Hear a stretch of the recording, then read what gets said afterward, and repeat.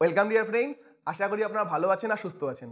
Dear friends আজকে আমরা এনটিনেট paper ওয়ানের পুরো আইসিটিটাকে কমপ্লিট করব। অলরেডি কিন্তু আমরা রিসার্চ অ্যাপটিটিউড এবং টিচিং অ্যাপটিটিউডকে কমপ্লিট করেছি। যারা যারা ভিডিওটা দেখেননি, অবশ্যই দেখে নেবেন। আজকে আমরা মোটামুটি দেড় ঘণ্টা, পনেরো ঘণ্টা কতক্ষণ লাগবে আমি জানি না।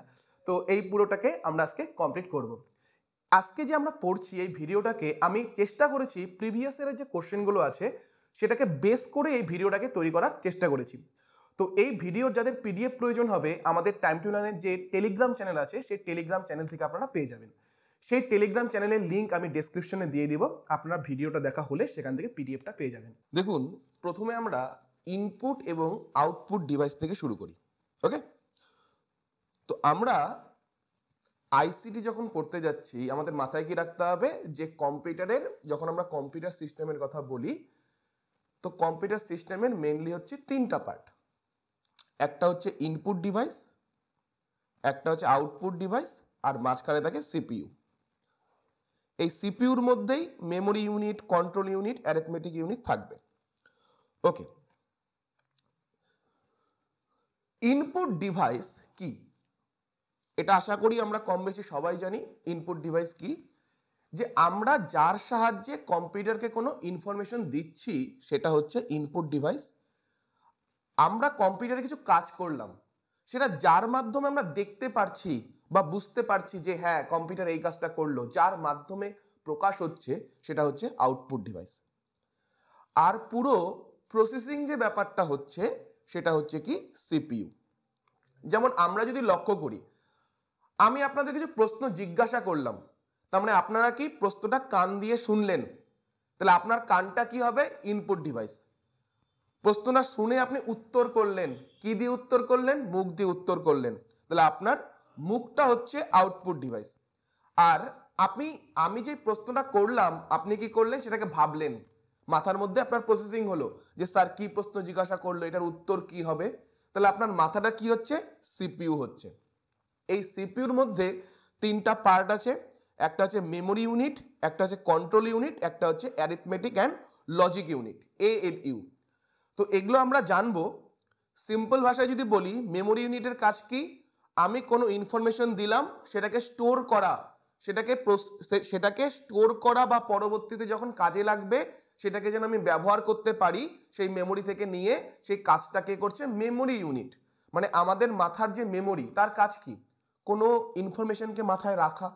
তাই কম্পিউটারের মেমোরি ইউনিটেরও কাজ হবে কি? কোনো ইনফরমেশনকে স্টোর করে রাখা। কন্ট্রোল ইউনিট আর হচ্ছে অ্যারিথমেটিক লজিক ইউনিট দেখুন অ্যারিথমেটিক লজিক ইউনিটের সংক্ষেপে বলা হয় এ এল ইউ মানে কম্পিউটারে যখন আমরা কোনো কাজ করছি, কোনো লজিক্যাল কাজ করছি বা কোনো ম্যাথামেটিক্যাল ক্যালকুলেশন করছি, তাহলে এই যে ক্যালকুলেশন টাইপের কাজ বা লজিক্যাল টাইপের কাজ, এটা করবে হচ্ছে এ এল ইউ আর পুরো ব্যাপারটাকে একজন কন্ট্রোল করতে হবে। তাহলে পুরো ব্যাপারটাকে কন্ট্রোল কে করবে? সেটা হচ্ছে কন্ট্রোল ইউনিট করবে। তাহলে এই যে ইনপুট ডিভাইস ইনপুট ডিভাইস মানেই হলো যার সাহায্যে আমরা কম্পিউটারকে কোনো ইনফরমেশন দিয়ে থাকি। যেমন কি আমাদের keyboard mouse scanner light pen বা স্টাইলাস এই যে আমার হাতে একটা স্টাইলাস আছে, এগুলো কি কম্পিউটারের হচ্ছে ইনপুট ডিভাইস আউটপুট ডিভাইস যার সাহায্যে রেজাল্টটা শো হচ্ছে। যার সাহায্যে রেজাল্টটা শো হচ্ছে। যেমন আমরা আজকে এই যে স্ক্রিনের মধ্যে আমি এখন দাগ দিলাম, আপনারা দেখতে পাচ্ছেন তাহলে স্ক্রিনের মাধ্যমে দেখতে পাচ্ছি আমি যেই কাজটা করলাম, রেজাল্টটা যার মাধ্যমে শো হচ্ছে। আমি একটা গান স্টার্ট করলাম, গানকে শুরু করলাম, গানটা আমরা কিসের মাধ্যমে শুনলাম? স্পিকারের মাধ্যমে শুনলাম। তাহলে স্পিকার থেকে আমরা কি বুঝতে পারছি, না, গানটা চলেছে, ঠিক গানটা চলেছে। তাহলে যার মাধ্যমে সেটা শো হচ্ছে রেজাল্টটা, সেটা হচ্ছে আউটপুট ডিভাইস যেমন কি মনিটর হতে পারে প্রিন্টার হতে পারে প্লটার স্পিকার এগুলো হচ্ছে আউটপুট ডিভাইস এরপরে আছে আমাদের memory of computer memory of computer দেখুন, আমরা সিপিউর মধ্যে একটা পার্ট দেখলাম মেমোরি সেটাই হচ্ছে কি? মেমোরি অফ কম্পিউটার তো কম্পিউটারের মেমোরি কি?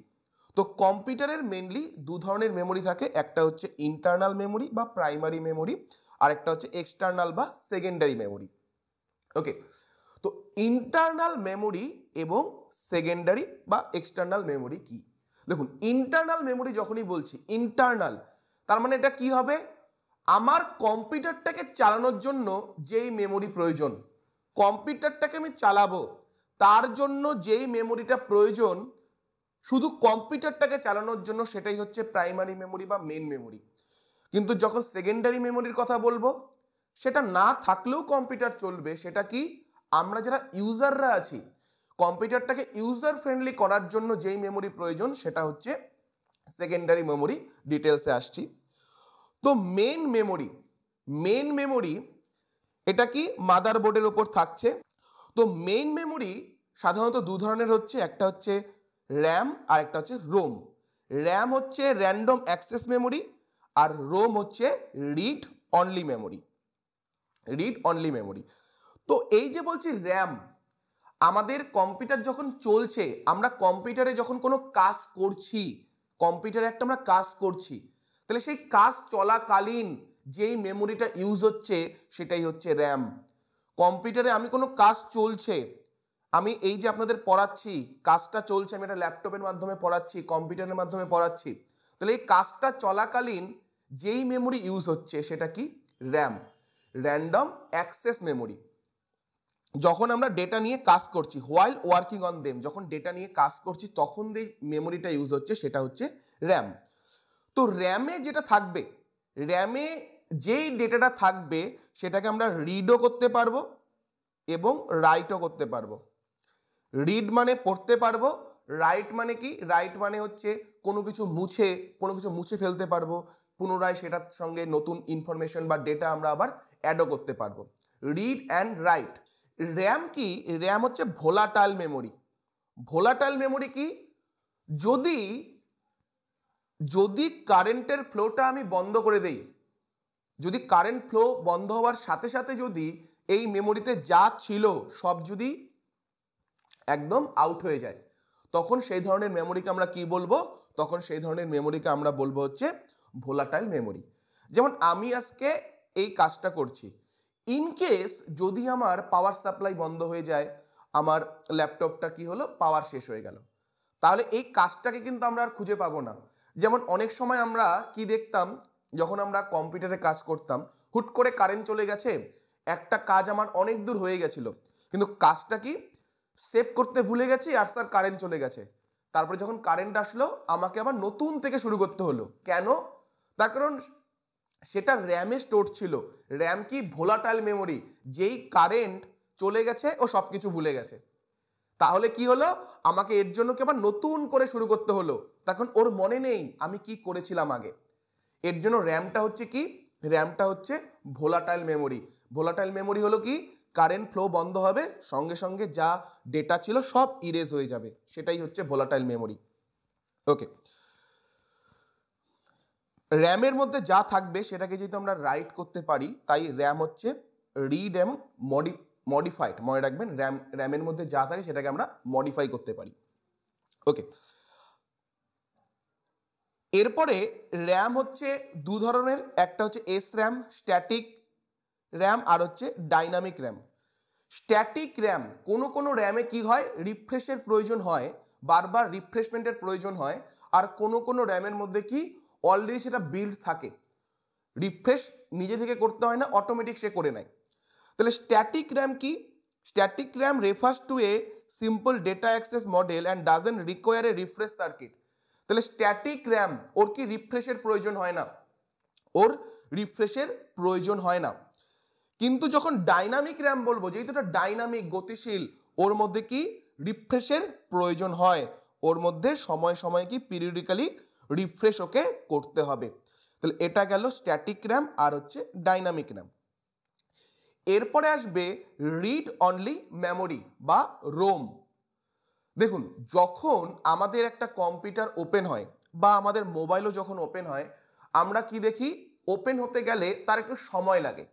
যখন আমরা রিস্টার্ট করি বা সুইচ অফ করে যখন অন করছি, আমরা কি দেখছি? সেটা ওপেন হতে আমাদের কি হয়? সময় লাগে। আমাদের ল্যাপটপটা বা কম্পিউটারটা বা মোবাইলটার কি সময় লাগে? এবং আমরা এটাও দেখি, সেটা যখন ওপেন হচ্ছে, যেই কোম্পানির মোবাইল বা যেই কোম্পানির কম্পিউটার তার লোগো দেখাচ্ছে, তার নাম দেখাচ্ছে, তার মানে নিশ্চয়ই স্যামসাং মোবাইল যদি হয়, স্যামসাং মোবাইলে অন্য কোম্পানির লোগো বা নাম দেখাবে না। তার মানে নিশ্চয়ই ওকে কিছু ইনস্ট্রাকশন দেওয়া আছে, যখন কম্পিউটারটা বা মোবাইলটা ওপেন হবে, কি করতে হবে, নিশ্চয়ই তাকে কিছু ইনস্ট্রাকশন দেওয়া আছে, সেই মতো ও কাজ করছে। তার কারণ কম্পিউটার বলি ল্যাপটপ বলি, ও তো নিজে নিজে কিছু করতে পারে না। ওকে তো ইনস্ট্রাকশন দিতে হবে। ইনস্ট্রাকশন দিলে তারপরে ও কাজটা করবে। তাহলে একটা জিনিস ভাবুন, তাহলে যখন আমি রোমের কথা বলছি, আমার ল্যাপটপটা বা কম্পিউটারটা বা মোবাইলটা ওপেন হচ্ছে। রিস্টার্ট ছিল রিস্টার্ট করলাম বা সুইচ অফ ছিল ওপেন করলাম অন করলাম। তাহলে কি হচ্ছে? অলরেডি কিছু ইনস্ট্রাকশন দেওয়া আছে কোনো একটা জায়গায়, যেটাকে ও পড়ে ও কি হচ্ছে? ওপেন হচ্ছে। তাহলে এর জন্য কি এর নামটা হচ্ছে রিড অনলি মেমোরি আমরা কি করছি? সেটাকে শুধু রিড করতে পারছি। আমরা সেটাকে চেঞ্জ করতে পারব না। তার মানে কম্পিউটারের একটা মেমোরি পার্ট কি? কিছু ইনস্ট্রাকশন দেওয়া আছে, যেটা কোম্পানি দিয়ে রেখেছে। সেটাকে আমরা সাধারণ ইউজাররা কি? সেটাকে মডিফাই করতে পারব না। শুধু কি করতে পারব? রিড করতে পারব, শুধু পড়তে পারব। কম্পিউটার যখন ওপেন হচ্ছে কম্পিউটার কি করছে? শুধু সেটাকে পড়ে ওপেন হচ্ছে। তাহলে সেটা কি? সেটা হচ্ছে read only memory read only memory কি? শুধু রিড করা যাবে, পরীক্ষায় প্রশ্ন আসে কিন্তু এখান থেকে। শুধু রিড করতে পারব, পড়া যাবে, কিন্তু কোনো রাইট হবে না। কিছু নতুন কিছু করে মডিফাই করতে পারব না। কিন্তু যেটা বললাম, র্যাম। র্যামকে আমরা রিডও করতে পারব, রাইডও করতে পারব। র্যাম হচ্ছে, আমাদের হচ্ছে, দুটোই হচ্ছে মডিফাই করা যাবে। কিন্তু যেটা হচ্ছে আমাদের রোম সেটাকে শুধু আমরা পড়তে পারব রিড করতে পারব, কিন্তু রাইট করতে পারব না। এর জন্য এটা হচ্ছে রিড অনলি মেমোরি এটা কি? পিসি যখন স্টার্ট হয় বা বুটিং হয়, তখন হচ্ছে আমাদের এটা কাজে আসে। তার মানে আমার এখন ল্যাপটপটা চলছে এই ল্যাপটপ এক, যে চলছে, এখন কিন্তু রোম কোনো কাজে লাগছে না। এখন কে কাজে লাগছে? র্যাম কাজে লাগছে। কিন্তু আমি যদি এখন, আমি যদি এখন ল্যাপটপটাকে রিস্টার্ট করি বা বন্ধ করে দিয়ে পুনরায় যদি চালু করতে চাই, তখন আমার রোমের কাজ লাগবে। মানে ল্যাপটপটা তখন রোমের মধ্যে যা লেখা আছে তখন রিড করবে বা তখন রোম মেমোরিটাকে কাজে লাগাবে। এখন কিন্তু লাগাবে না। তো রোমের তিনটা পার্ট একটা হচ্ছে programmable read only memory EP sorry P ROM বলে, আর একটা হচ্ছে EP ROM erasable programmable read only memory আর একটা হচ্ছে ইইপি রোম এটা হচ্ছে electronically erasable programmable read only memory তো প্রোগ্রামেবল রিড অনলি মেমোরি কি? You can store a program once the P ROM has been used you can not whip it clean or use it to store something else মানে একবার যা লেখা হয়ে গেছে, সেটাকে আমি কোনো মতেই আর ক্লিন করতে পারা যাবে না। মানে কোনোভাবেই কোম্পানিও আর পারবে না। যদি পি রোম হয়।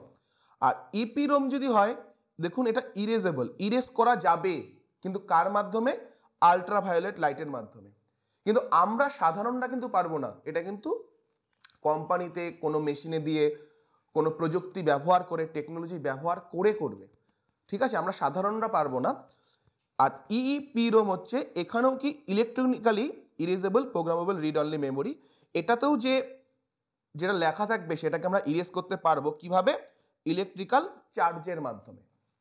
ওকে এর জন্য এটার নাম হচ্ছে electronically erasable programmable read only memory এরপরে আছে আমাদের এক্সটার্নাল বা সেকেন্ডারি মেমোরি এক্সটার্নাল বা হচ্ছে সেকেন্ডারি মেমোরি তাহলে এক্সটার্নাল বা সেকেন্ডারি মেমোরি কি হবে? দেখুন প্রাইমারি মেমোরি কি বললাম? যে আমার কম্পিউটারটা চলবে, কম্পিউটারটা চলার জন্য যেই মেমোরি প্রয়োজন, কম্পিউটারটাকে রান করার জন্য যেই মেমোরি প্রয়োজন, সেটা হচ্ছে প্রাইমারি মেমোরি কিন্তু আজকের দিনে শুধু কম্পিউটারটাকে রান করা, এটাই শুধু আমাদের উদ্দেশ্য থাকে না। আমাদের আরও অনেক উদ্দেশ্য থাকে। কম্পিউটারে কোনো মুভি দেখব, কম্পিউটারে কোনো ডেটা স্টোর করব, আর আমাদের ডেটাগুলো কত হয়? এক জিবি, দুই জিবি বড় বড় ডেটা থাকে। তাহলে বড় বড় ডেটা যদি আমি স্টোর করতে চাই, তখন কিন্তু আমার প্রাইমারি মেমোরিতে হবে না। এর জন্য কিসের কনসেপ্ট আসলো? সেকেন্ডারি মেমোরির কনসেপ্ট আসলো। সেকেন্ডারি মেমোরি কি এক্সট্রা করে আমরা অ্যাড করছি। কার জন্য? আমরা যারা ইউজার আছি, আমাদের ইউজারদের সুবিধার জন্য। আমাদের ইউজারদের সুবিধার জন্য আমরা সেকেন্ডারি মেমোরি ইউজ করব। সেকেন্ডারি মেমোরি কেন হলো? দেখুন প্রাইমারি মেমোরির যে ক্যাপাসিটি খুব কম থাকে।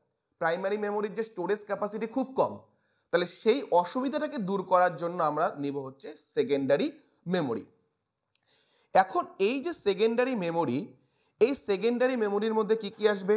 ম্যাগনেটিক টেপ ম্যাগনেটিক টেপ আমরা ম্যাগনেটিক টেপ কি বুঝুন? আমরা একটা সময় অডিও ক্যাসেট ইউজ করতাম না, এরকম আমাদের অডিও ক্যাসেট থাকতো। অডিও ক্যাসেট থাকতো। তো সেই অডিও ক্যাসেট যে, অডিও ক্যাসেটের যে টেপ বা একটা সময় ভিডিও ভিডিও রেকর্ডিং হতো, তার দেখতেন আপনারা শুনেছেন হতো টেপের মাধ্যমে। তো সেগুলো হচ্ছে ম্যাগনেটিক টেপ। এরপরে আছে কি? Magnetic disk. এখানে ডিস্ক ইউজ হয়। ডিস্ক। সেটার মধ্যে কি? HDD, FDD. ঠিক আছে? HDD, FDD. Hard disk use হয়। এরপরে হচ্ছে অপটিক্যাল অপটিক্যাল ডিস্ক। এটা কি হবে? আমরা যে সিডি ডিভিডি ইউজ করতাম, সেগুলো হচ্ছে অপটিক্যাল ডিস্ক যেমন CD DV DVD blu ray drive ঠিক আছে? এইচআরডি এগুলো হচ্ছে আমাদের, এগুলো হচ্ছে আমাদের হচ্ছে অপটিক্যাল ডিস্কের মধ্যে পড়বে। মানে আমরা ছোটবেলায় যে ক্যাসেটগুলো দেখতাম না সিডি ডিভিডি টাইপের যেগুলো আমাদের বার্ন করতে হতো, যেগুলো আমাদের ন্যারো ন্যারো একটা সফটওয়্যার ছিল, সেই সফটওয়্যারের মাধ্যমে, সেই সফটওয়্যারের মাধ্যমে যেটাকে বার্ন করতে হতো মানে সেটাকে কোনো কিছু রেকর্ড করতে গেলে তখন সেটাকে বলা হতো বার্ন করা। কোনো কিছু যদি আমি সেটার মধ্যে ঢুকাতে চাই, তখন ন্যারো সফটওয়্যারের মাধ্যমে সেটাকে করতে হতো। সেটাকে বলা হতো বার্ন করা। তো সেটার সাহায্য নেওয়া হতো। আর এরপরে আছে ফ্ল্যাশ ড্রাইভ ফ্ল্যাশ ড্রাইভের মধ্যে কি? Memory card pen drive SSD SSD খুব ইম্পর্টেন্ট আজকে এসএসডি থেকে খুব প্রশ্ন আসছে এখন। SSD solid state solid state drive তো আমরা যে নর্মাল হার্ড ড্রাইভ বলি হার্ড ডিস্ক বলি, তো হার্ড ডিস্কের থেকেও স্পিডে বেশি, গুণমানে বেশি সেটা হচ্ছে এসএসডি তো এখানে কি হয়, যেহেতু এর গুণমান বেশি, এর স্পিড বেশি, এর জন্য কি? আপনি যদি নর্মাল একটা হার্ড ডিস্ক কিনতে যান, আপনার যা খরচা পড়বে, আপনি যদি সলিড স্টেট ড্রাইভ কিনতে যান এসএসডি কিনতে যান, এর কি খরচা বেশি পড়বে। এসএসডিতে আপনার খরচা বেশি পড়বে স্পিডও যেহেতু বেশি তো এসএসডিতে আর হার্ড ড্রাইভের মধ্যে মেন পার্থক্য যেটা মনে রাখবেন হার্ড ড্রাইভে কি থাকে? হার্ড ডিস্ক বা হার্ড ড্রাইভে কি থাকে? হার্ড ডিস্ক ড্রাইভ এইচডিডি আমরা মাত্র পড়লাম। এইচডিডি হার্ড ডিস্ক ড্রাইভ তো সেখানে কি থাকে? সেখানে ফিজিক্যাল স্পিনিং ডিস্ক থাকে ডিস্ক যেটা কি হয়? বারবার মুভ করতে থাকে মুভ করতে থাকে। কোথায় থাকে এটা? হার্ড ড্রাইভে থাকে হার্ড ডিস্কে থাকে। কিন্তু এসএসডিতে এরকম কোনো মুভিং পার্ট থাকে না। যেটা থাকে কি থাকে? কোনো সলিড থাকে স্ট্যাটিক থাকে। কোনো মুভ কিছু করবে না। এটার থেকে কিন্তু পরীক্ষায় প্রশ্ন আসে। এসএসডিতে মনে রাখবেন মুভিং পার্ট থাকবে না। মুভিং পার্ট থাকবে না এসএসডিতে এরপরে একটা ইম্পর্টেন্ট টার্ম হচ্ছে আমাদের ক্যাশ মেমোরি ক্যাশ মেমোরি তো ক্যাশ মেমোরি কি? যেমন আজকে আপনারা কি করছেন? আমার এখানে পড়াশোনা করছেন ক্লাসটা করছেন। তো ক্লাসটা করার পর আপনারা ভাবছেন যে ক্লাসটা হয়ে গেলে পনেরো মিনিট রেস্ট নিব, রেস্ট নিয়ে আবার পড়তে বসবো। এটা আপনারা ভাবছেন। তাহলে আপনি যখন এখানে পড়তে বসেছেন, নিশ্চয়ই খাতা, কলম, বই, খাতা ইত্যাদি নিয়ে পড়তে বসেছেন। তাহলে আপনি যদি আবার পনেরো মিনিট পরে যদি আবার পড়তে বসেন, নিশ্চয়ই আপনি পনেরো মিনিটের জন্য খাতা, কলম, পেনগুলোকে আবার গুছিয়ে রাখবেন না। তখন পনেরো মিনিট পরে যেহেতু আপনি আবার পড়তে বসবেন। আপনি কি করবেন? যেখানে পড়তে বসেছেন, সেখানেই হয়তো এলোমেলোভাবে সাজিয়ে থাকবে। আপনি কি বলবেন যে, কেউ এটাকে গুছাতে যাও না, আমি আবার দশ মিনিট পরে পড়তে বসবো। আপনি কি করলেন? আবার দশ মিনিট পরে আসলেন, সামান্য রেস্ট নিয়ে আবার পড়তে বসে গেলেন। তাহলে এতে কি হলো? এতে দেখুন, আপনার কিন্তু সময়টা অনেক সেভ হলো। কীভাবে সেভ হলো? আপনি যদি ভাবলেন যে, দশ মিনিট পরে আমি আবার পড়তে বসবো, আপনি যদি সবগুলোকে যদি গুছাতে যেতেন, গুছাতে একটা সময় লাগতো, আবার সেটাকে আনতে একটা সময় লাগতো। তাহলে যদি কোনো কাজ আমরা ফ্রিকোয়েন্টলি করি, বুঝুন ক্যাশ মেমোরি কি বুঝুন? যেই কাজগুলো আমরা ফ্রিকোয়েন্টলি করব, সেই কাজগুলো কি কম্পিউটার ওর ক্যাশ মেমোরিতে অলরেডি সেভ করে রাখে। যে যেই কাজগুলো আমরা ফ্রিকোয়েন্টলি বারবার করি, বা মাত্র করলাম, সেই ধরনের কাজগুলো কি কম্পিউটার তার ক্যাশ মেমোরিতে সেভ করে রাখে। তাহলে এর ফলে কি হবে? এর ফলে আমরা সেই কাজটাকে খুব তাড়াতাড়ি করতে পারব। আমি যদি করতে চাই, এর পরবর্তীতে যখন আমি করতে চাবো, যেমন মাত্র আমি উদাহরণ দিলাম, আপনি যদি দশ মিনিট পরে আবার পড়তে বসতে চান, আপনি কি যেখানে ছেড়েছেন সেখান থেকে আপনার আবার শুরু করতে পারছেন, আপনার সময় বাঁচছে, সময় অনেক বেঁচে যাচ্ছে। তাহলে এটাই হচ্ছে ক্যাশ মেমোরির কাজ।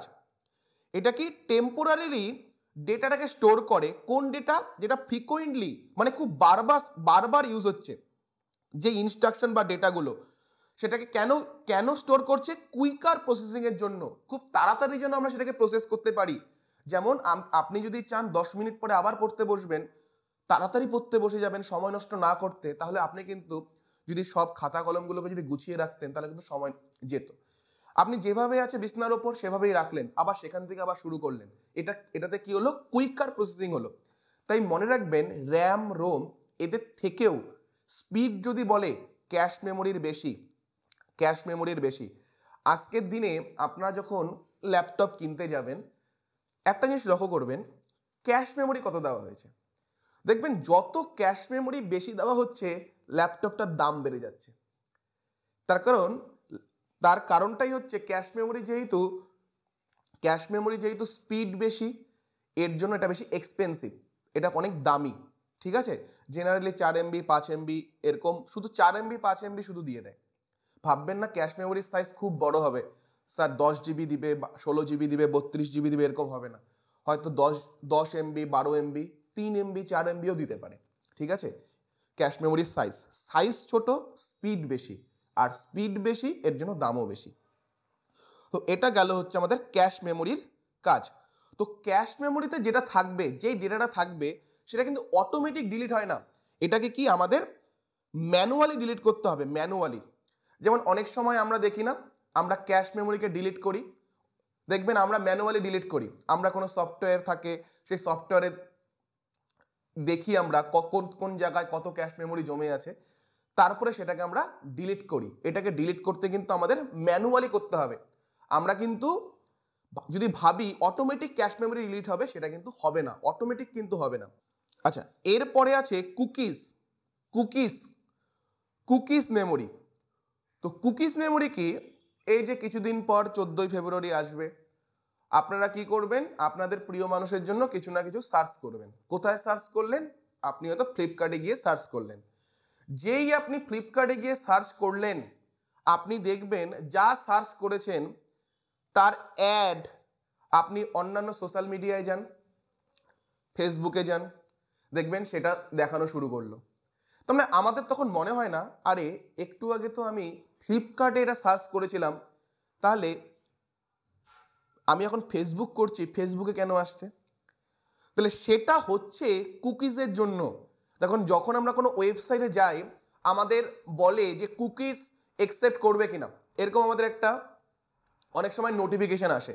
কুকিজ এক্সপেক্ট কুকিজকে একসেপ্ট করবে কিনা, এরকম একটা আমাদের নোটিফিকেশান আসে। তো কুকিজ যখন আমরা একসেপ্ট করাচ্ছি, তার মানে কি? তাকে আমি অনুমতি দিচ্ছি আমার কি প্রেফারেন্স বা চয়েস সেটাকে স্টোর করার জন্য। তাকে আমি অনুমতি দিয়ে দিচ্ছি কি আমার কি প্রেফারেন্স বা চয়েস সেটাকে স্টোর করে রাখার জন্য। তাহলে আমি যেটা সার্চ করলাম, তখন সেই সফটওয়্যার বা সেই সিস্টেম কি বুঝবে? সেটাই আমার তখন প্রেফারেন্স বা চয়েস আপনি কিছু সার্চ করলেন, তাহলে কি হলো? সেটাকে আপনার প্রেফারেন্স বা চয়েস হিসাবে গণ্য করল। এর জন্য কি হচ্ছে? অন্যান্য যখন ওয়েবসাইটে যাচ্ছেন, অন্যান্য ওয়েবসাইটে যাচ্ছেন, তখন কি হচ্ছে? সেটাই আপনাকে দেখানো শুরু করে দিল। ওকে? তো কুকিজে মনে রাখবেন, আপনার চয়েস আপনার, আপনি কে ইউজার ইউজারের চয়েস বা প্রেফারেন্সকে স্টোর করা হয়। আর এটা কি হবে? এটা অটোমেটিক্যালি এক্সপায়ার হবে। অটোমেটিক্যালি এক্সপায়ার হবে। কেন? আপনি যদি দশ দিন ওই জিনিসটার সার্চ না করেন, অন্য কিছু সার্চ করেন, দেখবেন দশ দিন আগে যেটা সার্চ করেছিলেন সেটা এখন আর দেখাবে না। তার মানে কি? তার মানে যেটা আপনার প্রেফারেন্স ছিল, সেটাকে সে আগের প্রেফারেন্সটাকে ডিলিট করে দিয়েছে, নতুন প্রেফারেন্স নিয়েছে। তার মানে এটা কি হবে? অটোমেটিক্যালি এক্সপায়ার হয়ে যাবে। আর এই যে এই যে আপনার প্রেফারেন্স এটা কোথায় স্টোর থাকছে? এটা সার্ভার এবং ব্রাউজার উভয়তেই স্টোর থাকছে। সার্ভার এবং ব্রাউজার উভয়তেই স্টোর থাকছে। কিন্তু যদি বলি ক্যাশ মেমোরি ক্যাশ মেমোরি কিন্তু শুধু ব্রাউজারে স্টোর থাকবে। আমরা যে ব্রাউজারটা ইউজ করছি ধরুন আপনি গুগল ক্রম ইউজ করছেন, তাহলে শুধু গুগল ক্রমে স্টোর থাকবে আপনার ক্যাশ মেমোরির ডেটাগুলো। আর যদি বলি কুকিজ কুকিজ কি হবে? আপনার ব্রাউজার এবং সার্ভার, যেই সার্ভার ইউজ করেছেন সেই সার্ভারও থাকবে এবং কি যেই ব্রাউজার ইউজ করেছেন সেখানেও থাকবে। এরপরে দেখুন আছে নাম্বার সিস্টেম।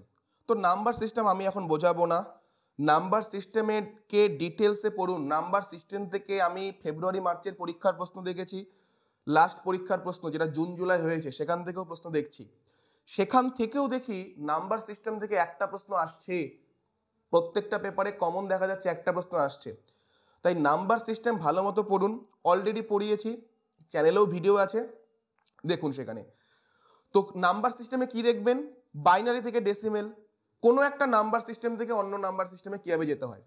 ইভেন লাস্টবারের প্রশ্ন দেখছিলাম সামথিং কিছু এইটে দিয়েছে মানে অক্টালে দিয়েছে, বলেছে সেটা বাইনারিতে কি হবে বা ডেসিমেলে কি হবে।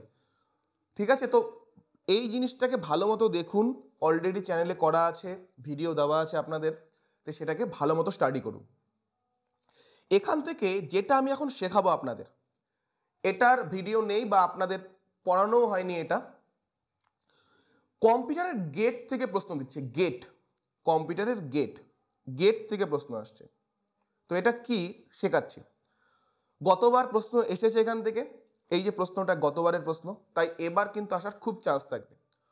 তো কম্পিউটারে তিন ধরনের গেট থাকে।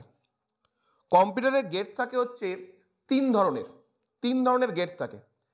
একটা হচ্ছে নট গেট একটা হচ্ছে অর গেট আর একটা হচ্ছে অ্যান্ড গেট তিন ধরনের গেট থাকে। তো অলরেডি আমরা জানি যে কম্পিউটার জিরো আর ওয়ান ছাড়া কিচ্ছু বোঝে না। ও বোঝে শুধু জিরো আর ওয়ান তো নট গেটের কাজ কি? ধরুন, এটা একটা গেট এটা একটা নট গেট ওর কাজটা কি হবে? ওর কাজ হবে জিরো যদি দেই, জিরো দিয়ে দিলে সেটাকে ওয়ান করা আর ওয়ান দিলে সেটাকে জিরো করে দেওয়া। মানে উল্টো করে দেওয়া হচ্ছে নট গেটের কাজ, উল্টো করে দেওয়া। জিরোকে ওয়ান করা ওয়ানকে জিরো করা। তার মানে আপনি যদি ওয়ান ওয়ান জিরো দেন নট গেটে যদি ওয়ান ওয়ান জিরো দেন, ও কি করবে? ওয়ানকে জিরো করবে জিরোকে ওয়ান করবে। তার মানে ওয়ান ওয়ান জিরো দিয়েছেন, ও কি করে দিবে? জিরো জিরো ওয়ান করে দিবে। ওকে যা আছে ঠিক উল্টো করে দিবে। জিরোকে ওয়ান করবে ওয়ানকে জিরো করবে। ওকে এবার ধরুন বলা আছে or gate or gate or gate কি করবে? অর গেট ও দেখবে যে আপনি কি ভ্যালু দিয়েছেন। কি ভ্যালু দিয়েছেন? ধরুন আপনি একটা ভ্যালু দিলেন জিরো একটা ভ্যালু দিলেন ওয়ান একটা ভ্যালু দিলেন ওয়ান ও দেখবে যে যেই ভ্যালুগুলো দেওয়া হয়েছে, তার মধ্যে মিনিমাম একটা এক আছে কিনা। ও কি দেখবে? যে যেই ভ্যালুগুলো দেওয়া হয়েছে, তার মধ্যে মিনিমাম একটা এক আছে কিনা। যদি মিনিমাম একটা এক থাকে, তাহলে ও আউটপুট দিবে ওয়ান মিনিমাম যদি একটা এক থাকে, আগেরটা কি ছিল? আমি যদি জিরো ইনপুট দেই আউটপুট দিবে ওয়ান ওয়ান ইনপুট দিলে আউটপুট দিবে জিরো যা ইনপুট দিব, উল্টো উল্টো আউটপুট দিবে। অরগেট কি করবে? অরগেট আপনি যে ইনপুটগুলো দিচ্ছেন, ও শুধু একটা জিনিস লক্ষ্য করবে, যে ইনপুটগুলোর মধ্যে কোনো ওয়ান আছে কিনা। যদি ওয়ান থাকে, যদি ওয়ান থাকে তাহলেও কি করে দিবে? ও আউটপুট ওয়ান দিবে। হতে পারে আপনি যখন দিচ্ছেন, আপনি পাঁচটা ইনপুট দিয়েছেন, পাঁচটা ইনপুট সব জিরো জিরো জিরো জিরো, শুধু একটা ওয়ান ও এটা দেখবে না যে চারটা জিরো আছে, একটা এক আছে। ও শুধু দেখবে যে একটা এক আছে কিনা। যদি একটা মাত্র এক থাকে, তাহলেই ও আউটপুট কি দিয়ে দিবে? ওয়ান দিয়ে দিবে। এখন অ্যান্ড গেট কি করবে? অ্যান্ড গেট করবে ঠিক তার উল্টো। অ্যান্ড গেট করবে ঠিক তার উল্টো। অ্যান্ড গেট কি করবে? অ্যান্ড গেট দেখবে, যেই আউটপুটগুলো দেওয়া আছে সেটার মধ্যে একটা জিরো আছে কিনা?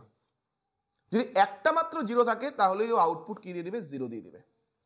বা আমি এভাবে বলতে পারি, সবগুলো ও দেখবে অ্যান্ড গেট দেখবে যে সবগুলো এক আছে কিনা? সবগুলো এক আছে কিনা? যদি সবগুলো ইনপুট এক না থাকে, একটা মাত্র যদি জিরো থাকে, তাহলেই ও আউটপুট কি দিয়ে দিবে? আউটপুট দিয়ে দিবে হচ্ছে জিরো তাহলে তিনটা জিনিসকে আমি একটু আরেকবার বলি তিনটা গেট পড়লাম। একটা হচ্ছে not gate not not gate কি করবে? জিরো দিলে ওয়ান দিয়ে দিবে। আর ওয়ান দিলে জিরো দিয়ে দিবে। যদি অর গেট বলি অর গেট কি হবে? যে কোনো একটাই যদি ওয়ান থাকে, বাকি সব যদি ওয়ান থাকে, কোনো ব্যাপার না, তাও ওয়ানই দিবে। ধরুন তিনটা ইনপুট দিলেন, তিনটা ইনপুটের মধ্যে দুটো ওয়ান একটা জিরো ও শুধু সিম্পল দেখবে মিনিমাম একটা ওয়ান আছে কিনা। যদি থাকে তাহলে ও আউটপুট ওয়ান দিয়ে দিবে। অ্যান্ড গেট কি করবে? অ্যান্ড গেটের কাজ হচ্ছে ওর দেখা যে সবগুলো ওয়ান আছে কিনা। যদি সবগুলো ওয়ান থাকে, তাহলে ও ওয়ান দিবে। ধরুন সবগুলো ওয়ান দিলাম। তাহলে ও আউটপুটটা ওয়ান দিবে। কিন্তু সবগুলো ওয়ানের মধ্যে যদি একটা যদি জিরো চলে আসে, একটা যদি জিরো চলে আসে, তাহলেই ও ধরুন একটা জিরো চলে আসলো, তাহলে কি হবে? আউটপুট জিরো দিবে। এখন আমরা প্রশ্নটায় আসি। প্রশ্নটায় দিয়েছে পি কত? One zero one one zero zero zero one আর কিউ দিয়েছে zero one zero zero one one one zero তাহলে বলেছে এক্স যদি পি অর কিউ হয় এক্স কি?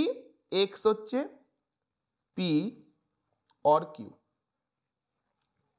আমি আপনাদের এমনভাবে বোঝাবো যেন আপনাদের বুঝতে সুবিধা হয়। এই ধরনের প্রশ্ন আসলে কীভাবে করবেন?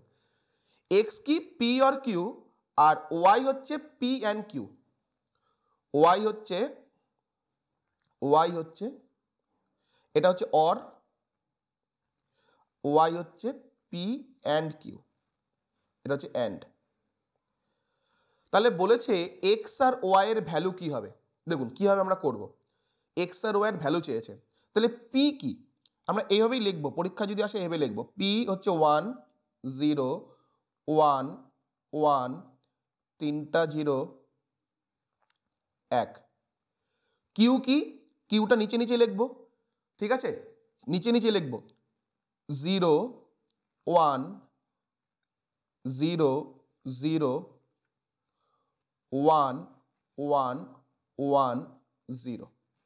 Okay? তো আমাকে কি বলেছে? আমাকে বলে হচ্ছে পি অর কিউ। তাহলে অর মানে কি হবে? অর মানে যে কোনো একটা যদি এক হয় তাহলে এক। তাহলে পি আর কিউর মধ্যে কোনো একটা যদি ওয়ান আসে তাহলে আউটপুট কি দিবে? অর গেটে ওয়ান দিবে। পি আর কিউর মধ্যে একটা যদি আউটপুটে যদি ওয়ান থাকে তাহলে তো আউটপুট ওয়ান দিয়ে দিবে। তাহলে দেখুন পি ওয়ান কিউ জিরো তাহলে দুটোর মধ্যে একটা কি আছে? ওয়ান আছে। পি এ কিউর মধ্যে একটা ওয়ান তাহলে আউটপুট কি দিবে? ওয়ান দিবে। পরেরটাতে দেখুন জিরো ওয়ান জিরো আর ওয়ানের মধ্যে একটা আউটপুট শুধু ওয়ান লাগবে, তাহলেই আউটপুট ওয়ান দিবে। তাহলে one one zero one zero, P one, Q হচ্ছে জিরো। তাহলে একটা ওয়ান আছে, একটা জিরো আছে। আউটপুট কি? আউটপুট হচ্ছে অ্যান্ড গেট অর গেটের ক্ষেত্রে যদি একটা যদি ওয়ান থাকে, তাহলে আলটিমেটলি ওয়ান দিবে। তাহলে এটা কি হবে? ওয়ান হবে। এটাও ওয়ান হবে। পরেরটাও ওয়ান পরেরটাও ওয়ান পরেরটাও ওয়ান পরেরটাও ওয়ান। তাহলে দেখুন, সবগুলো ওয়ান সবগুলো ওয়ান। এখন দেখুন, যদি আমাকে, যদি আমরা যদি আমরা কার ভ্যালু বার করি? যদি আমরা ওয়াইয়ের ভ্যালু বার করি। ওয়াইয়ের ভ্যালু কি বলেছে? পি অ্যান্ড কিউ তাহলে এখন দেখুন পি লিখুন পি কি দেওয়া ছিল? One zero one zero one one zero zero zero one আর কিউ কি দেওয়া ছিল? কিউ দেওয়া ছিল zero one zero zero one one one zero তাহলে যেহেতু এটা অ্যান্ড গেট যেহেতু অ্যান্ড গেটের কথা বলেছে অ্যান্ড গেটে কি হবে? যদি দুটো যদি ওয়ান হয়, তাহলেই ওয়ান হবে। একটা যদি জিরো চলে আসে, তাহলেই আলটিমেটলি আউটপুট কি দিবে? জিরো দিবে। অ্যান্ড গেটে কি শিখলাম? যে দুটোর মধ্যে, দুটোই যদি ওয়ান হয়, তাহলেই আউটপুট আলটিমেটলি ওয়ান হবে। কিন্তু দুটোর মধ্যে একটা যদি জিরো হয়ে যায়, দুটোর দুটোর মধ্যে যদি একটা যদি জিরো হয়ে যায় তাহলে আউটপুট কি? জিরো তাহলে এখানে কি হচ্ছে দেখুন? Zero zero zero zero zero zero বুঝতে পারছেন তো? দেখুন জিরো আর ওয়ান জিরো আর ওয়ান একটা মধ্যে একটা জিরো তাহলে একটা জিরো হলেই জিরো ওয়ান তখনই আসবে যখন সবগুলো ওয়ান থাকবে। তাহলে এটাও জিরো তাহলে অ্যান্ড গেটের ক্ষেত্রে কি হলো? সবগুলো জিরো এর জন্য অ্যান্সার হবে চার নম্বরটা। এরপরে এরপরে আমাদের যে ইম্পর্টেন্ট জায়গা, সেটা হচ্ছে নেটওয়ার্ক এখান থেকে প্রশ্ন পরীক্ষায় আসতে পারে। তো নেটওয়ার্ক মানে কি? নেটওয়ার্ক আর কিছুই না, যখন আমরা দুই বা তার বেশি ডিভাইসকে দুই বা তার বেশি ডিভাইসকে আমরা যুক্ত করি কানেক্ট করি, তখনই সেটাকে কি বলা হচ্ছে? নেটওয়ার্ক বলা হচ্ছে। তাহলে কথা হলো স্যার দুই বা তার বেশি নেটওয়ার্ককে যুক্ত করা মানে কি? যেমন আমরা সিম্পল ভাষায় যদি বলি, অনেক সময় আমরা কি করি? আমরা দুটো মোবাইল আছে, দুটো মোবাইল ফোনকে কি ব্লুটুথ দ্বারা কানেক্ট করি। আমরা একটা মোবাইলের ডেটাকে অন্য মোবাইলে সেন্ড করি কিসের মাধ্যমে? ব্লুটুথের মাধ্যমে। তাহলে এটাও কি হলো? একটা ডিভাইসকে আরেকটা ডিভাইসের সাথে কানেক্ট করা। বা যার বাড়িতে ল্যাপটপ আছে বা কম্পিউটার আছে, বা দেখেছেন আপনারা, অনেক সময় কি করি আমরা? কম্পিউটারকে, কম্পিউটারের মধ্যে কোনো ডেটা আছে, আমি সেই ডেটাটাকে মোবাইলে নিব। আমরা কি করি? এটা ডেটা কেবল যুক্ত করি, একটা ডেটা কেবল নিয়ে কম্পিউটারের সাথে মোবাইলটাকে যুক্ত করে, কানেক্ট করে আমরা কম্পিউটার থেকে ডেটাটা মোবাইলে নেই। তাহলে এটাও কি হচ্ছে? নেটওয়ার্ক হচ্ছে। মানে সিম্পল ভাষায় দুই বা তার বেশি ডিভাইসকে যখন আমরা কোনো কিছুর মাধ্যমে যুক্ত করছি, সেটা ওয়্যারলেস হতে পারে বা উইথ ওয়্যারও হতে পারে ওয়াইফাইয়ের মাধ্যমেও যুক্ত করতে পারি, তখনই সেটা কি হচ্ছে? নেটওয়ার্ক তো নেটওয়ার্ক যদি আপনারা যান মূলত তিন ধরনের পাবেন ল্যান ম্যান আর হচ্ছে ওয়েন এছাড়াও আরও দুটো নেটওয়ার্ক আছে প্যান আর হচ্ছে ক্যান তো প্যান এর ফুল ফর্ম হচ্ছে পার্সোনাল এরিয়া নেটওয়ার্ক। দেখুন, পার্সোনাল।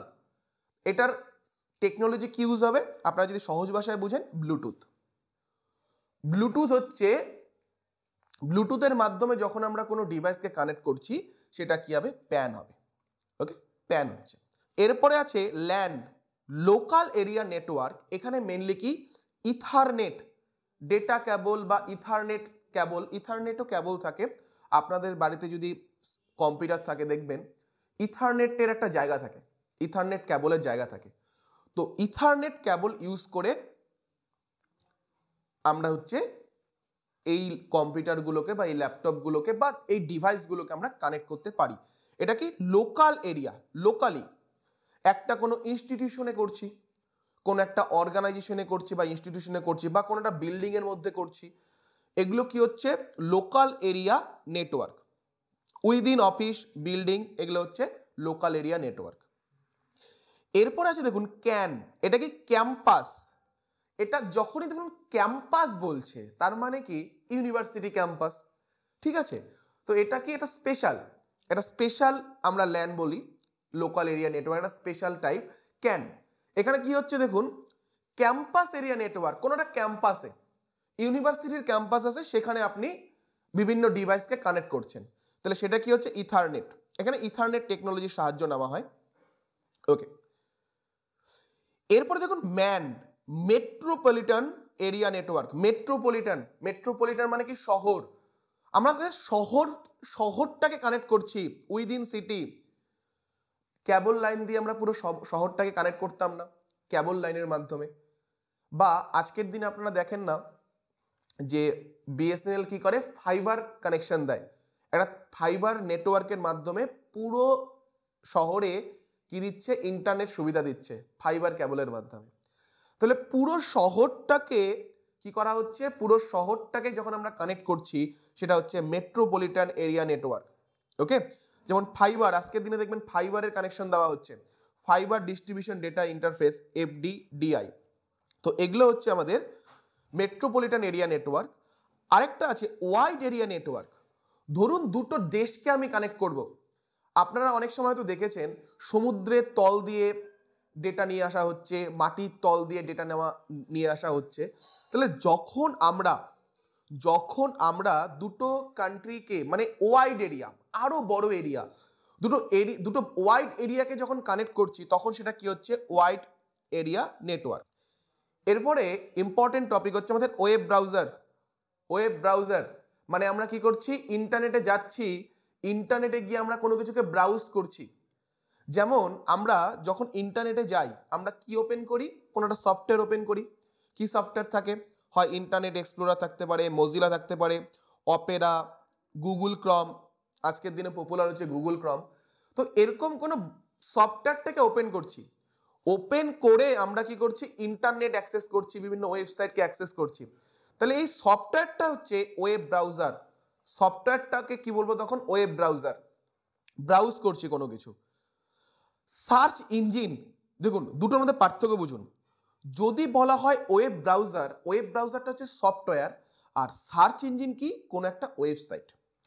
যেমন গুগল গুগল ডট কম। এটা কি? একটা সার্চ ইঞ্জিন। এখানে আমরা কোনো কিছু সার্চ করি, কোনো কিছু খুঁজি। এখন যখন আপনি কোনো কিছু খুঁজতে যাবেন, আপনি কি করবেন? কোনো একটা ব্রাউজার ওপেন করবেন। কোনো একটা ব্রাউজার ওপেন করছেন। কোনো একটা সফটওয়্যার ওপেন করছেন। তো এই সফটওয়্যারটা হচ্ছে ওয়েব ব্রাউজার এখন আপনি খুঁজছেন, কোন ওয়েবসাইটে গিয়ে খুঁজছেন? আপনি নিশ্চয়ই এনটি এর ওয়েবসাইটে গিয়ে এনটি এর ওয়েবসাইটে গিয়ে কোনো মুভি ডাউনলোড করা যায় কি না সেটা আপনি সার্চ করবেন না। কোনো আপনার প্রিয় মুভি ডাউনলোড করতে চান, সেটা আপনি এনটি ওয়েবসাইটে গিয়ে সার্চ সার্চ করবেন না। আপনি কি করবেন? গুগলে গিয়ে সার্চ করবেন।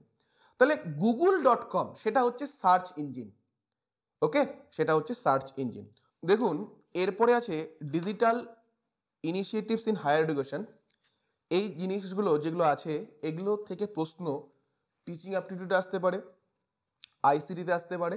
যেহেতু ডিজিটাল ইনিশিয়েটিভ আবার যেহেতু হায়ার এডুকেশনের নেওয়া হয়েছে, তাই আমাদের যে হায়ার এডুকেশনের জায়গাটা আছে, সেখানেও কিন্তু এখান থেকে প্রশ্ন আসতে পারে। তো দেখুন মুক্স অলরেডি আমি টিচিং অ্যাপটিটিউড যেদিন পড়ালাম, সেদিন এখানে ডিটেলস আলোচনা করেছি মুখ স্বয়ংপ্রভা। তো যেগুলো আলোচনা করেছি, সেগুলো আমি আর দেখাচ্ছি না। সেগুলো আমি আর শো করছি না বা পড়াচ্ছি না, আপনারা দেখে নেবেন। ওকে দেখুন। এখান থেকে যেটা আমরা এখন পড়ব ই বিদ্বান ই বিদ্বান। যখনই ই কথাটা থাকবে, সেটা কি ইলেকট্রনিক ঠিক আছে? সেখানে ইন্টারনেট ইউজ হচ্ছে, এই টাইপের মনে রাখবেন, ঠিক আছে? এটা ফিজিক্যাল ফর্মে থাকবে না। তাহলে এখানে কি? It provides relevant information about experts background contact address experience scholarly publication skill and accomplishment research identity মানে এই ই বিদ্বানকে একটা প্ল্যাটফর্ম দেওয়া হয়েছে এটা প্ল্যাটফর্ম যেমন মুক্স একটা প্ল্যাটফর্ম তখন ই বিদ্বানও কি এটা প্ল্যাটফর্ম সেখানে আমরা কি করতে পারব? ধরুন অনেক যারা এক্সপার্ট রয়েছে, যারা যারা অনেক রিসার্চ করেছে, যারা এক্সপার্ট তাদের কি ব্যাকগ্রাউন্ড তাদের কন্ট্যাক্ট অ্যাড্রেস তাদের এক্সপিরিয়েন্স স্কলার পাবলিকেশন কী কী পাবলিকেশন করেছে স্কিল তারা কি কি অ্যাকমপ্লিশ করেছে, সেই জিনিসগুলো কি সেখানে স্টোর থাকে। সেই জিনিসগুলোকে আমরা সেখান থেকে, সেই ইনফরমেশনগুলো পাবো, সেটাই হচ্ছে ই বিদ্বান যদি আমরা চাই তাদের সাথে কোলাবোরেশন করতে পারি ওকে এটা হচ্ছে ই বিদ্বান। এরপরে আছে দেখুন national academic depository national academic depository is a initiative to provide an online store house of all academic awards it is a twenty four by seven online store house of all academic award example যেমন certificates diplomas degree marksheets marksheets etcetera তার মানে এখানে কি করা হচ্ছে? এখানে আমরা অনলাইনে সব একাডেমিক অ্যাওয়ার্ডগুলো যেমন বিভিন্ন মার্কশিট আছে সার্টিফিকেট আছে, সেগুলোকে কি করতে পারছি আমরা? সেগুলো হচ্ছে এখানে স্টোর হাউস তার মানে সেগুলোকে আমরা স্টোর করে রাখতে পারছি। ঠিক আছে? যেমন আমরা আজকে ডিজি লকারে আজকে যেমন আমরা ডিজি লকারে আমাদের অনেক ইনফরমেশন আমরা স্টোর করে রাখি, তেমনি আমরা এখানেও কি আমাদের অনেক ইনফরমেশনকে আমরা স্টোর করে রাখতে পারব। এরপরে কি আছে? Free and open resource software for education তো নাম দেখেই বুঝতে পারছেন free and open resource software তাহলে এখানেও কি হচ্ছে যে, এটা ডেভেলপ করেছে হচ্ছে আইআইটি বোম্বে তো এখানে কি হবে? ফ্রি সফটওয়্যার আমরা পড়াশোনা করার জন্য কি কি ওপেন রিসোর্স সফটওয়্যার ইউজ করতে পারি? সেটাই হচ্ছে এখানে free and open resource software এরপরে আছে শোধ গঙ্গা শোধ গঙ্গা শোধ গঙ্গোত্রী, এগুলো কি? আমাদের হচ্ছে যারা রিসার্চ করছি, যারা রিসার্চ করছি, তারা কি করি? সেই শোধ গঙ্গা, শোধ গঙ্গোত্রী এই ওয়েবসাইটগুলোতে যাই। সেখানে কি থাকে? অলরেডি যেগুলো রিসার্চ হয়েছে বা যেগুলো আর্টিকেল আছে বা যেই যেই ডিজার্টেশনগুলো হয়েছে, সেগুলো কি অলরেডি সেখানে কি করা থাকে? যারা যারা করেছে তারা সেখানে কি করে? আপলোড করে। তাহলে এর ফলে কি হয়? এর ফলে হিউজ দেখুন, একটা হিউজ একটা পুরো ওয়ার্ল্ডে যারা যারা করেছে, তারা কি করছে? সেখানে গিয়ে আপলোড করছে তাদের কাজগুলোকে। তাহলে দেখুন, সেখানে আমি যখন যাচ্ছি, আমি ইনফরমেশনগুলো পাচ্ছি, তারা তাদের কাজগুলো, পুরো পিএইচডি থিসিসটাকে আপলোড করেছে। পুরো থিসিস পুরো ইন্ডিয়ার যে থিসিসগুলো আছে, সেগুলো সেখানে আপলোড আছে। তাহলে তাতে কি হচ্ছে? আমি দেখছি যে কি কি কাজ হয়েছে, তারা কাজ করে কি পেয়েছে কোথায় আমার স্কোপ রয়েছে? তার মানে সেটা কি? আমি যে রিসার্চ করব, আমাকে হেল্প করছে। আমরা যে রিভিউ অফ লিটারেচার পড়েছিলাম এর আগের দিন, সেই রিভিউ অফ লিটারেচারের যে টাইপসগুলো ছিল, সেখানে লক্ষ্য করুন, আমার কি স্কোপ থাকবে? আমি যদি কোনো সিস্টেমেটিক রিভিউ অফ লিটারেচার করতে চাই, কোনো একটা পার্টিকুলার প্রশ্নকে আমি খুঁজতে চাই, তাহলে তাতে আমার কি হচ্ছে? হেল্প হচ্ছে। একটা একটা ওয়েবসাইট যেখানে অলরেডি কি কাজ হয়েছে আমার ইন্ডিয়াতে সেগুলোকে আমি পেয়ে যাচ্ছি। সেগুলোকে আমি পাচ্ছি। তাহলে এটা কি করছ- আমার রিসার্চার হিসাবে আমাকে হেল্প করছে। আমার যে কাজগুলো হয়েছে, আমার কোথায় কাজ হয়েছে, আমার টপিকের উপর কি কাজ হয়েছে, কি পাওয়া গেছে, কোথায় আমার স্কোপ রয়েছে সেটাকে বুঝতে আমাকে সাহায্য করছে শোধ গঙ্গা এবং শোধ গঙ্গোত্রী দুটো ওয়েবসাইটই এরপরে একটা থাকে ই শোধ সিন্ধু। তো ই শোধ সিন্ধু এটাও ইন্টারনেট শোধ শোধ মানেই আপনারা জানেন রিসার্চ তো ইন্টারনেটে এটাও কি? এটাও আমার রিসার্চে হেল্প করছে। তো এখান থেকে একটা জিনিস মনে রাখবেন, তিনটাকে মাস মার্চ করে মানে যুক্ত করে এই শোধ সিন্ধু প্ল্যাটফর্মটাকে ডেভেলপ করেছে। এই তিনটা কি? UGC Infonet digital literacy consortium NLIST আরেকটা কি? INDEST AICTE consortium. শুধু এই তিনটা জিনিসের নাম মনে রাখুন, পরীক্ষায় প্রশ্ন দিতে পারে। ই সিন্ধু কোন তিনটা জিনিসকে মার্চ করে তৈরি করা হয়েছে? ঠিক আছে? শুধু নামগুলো মনে রাখুন। এরপর আছে Umang. Umang one app many government services তার মানে উমাং অ্যাপটা কিসের জন্য? বা উমাং ওয়েবসাইটও আছে, এখানে এটা কিসের জন্য হবে? যে গভর্নমেন্ট কি কি স্কিম দিচ্ছে গভর্নমেন্ট কি কি সার্ভিস প্রোভাইড করছে, সেটাকে দেখার জন্য হচ্ছে ওমাং ঠিক আছে? গভর্নমেন্ট কি কি সার্ভিস দিচ্ছে, কি কি স্কিম দিচ্ছে, কি কি লঞ্চ করল স্কিম, নতুন কি স্কিম লঞ্চ করল, সেটাকে জানার জন্য হচ্ছে ওমাং এরপর আছে শোধ শুদ্ধি। দেখুন, শুদ্ধি শুদ্ধি মানে কি বলি আমরা? বলি না, তোকে শুদ্ধি করতে হবে মানে তোকে ক্লিন করতে হবে। তাহলে রিসার্চ শোধ রিসার্চ শোধ শোধ শুদ্ধি মানে রিসার্চটাকে শুদ্ধি করতে হবে। তার মানে আমরা কি? রিসার্চে যদি কোনো প্ল্যাগারিজম থাকে, সেই প্ল্যাগারিজম চেকের জন্য হবে শোধ শুদ্ধি।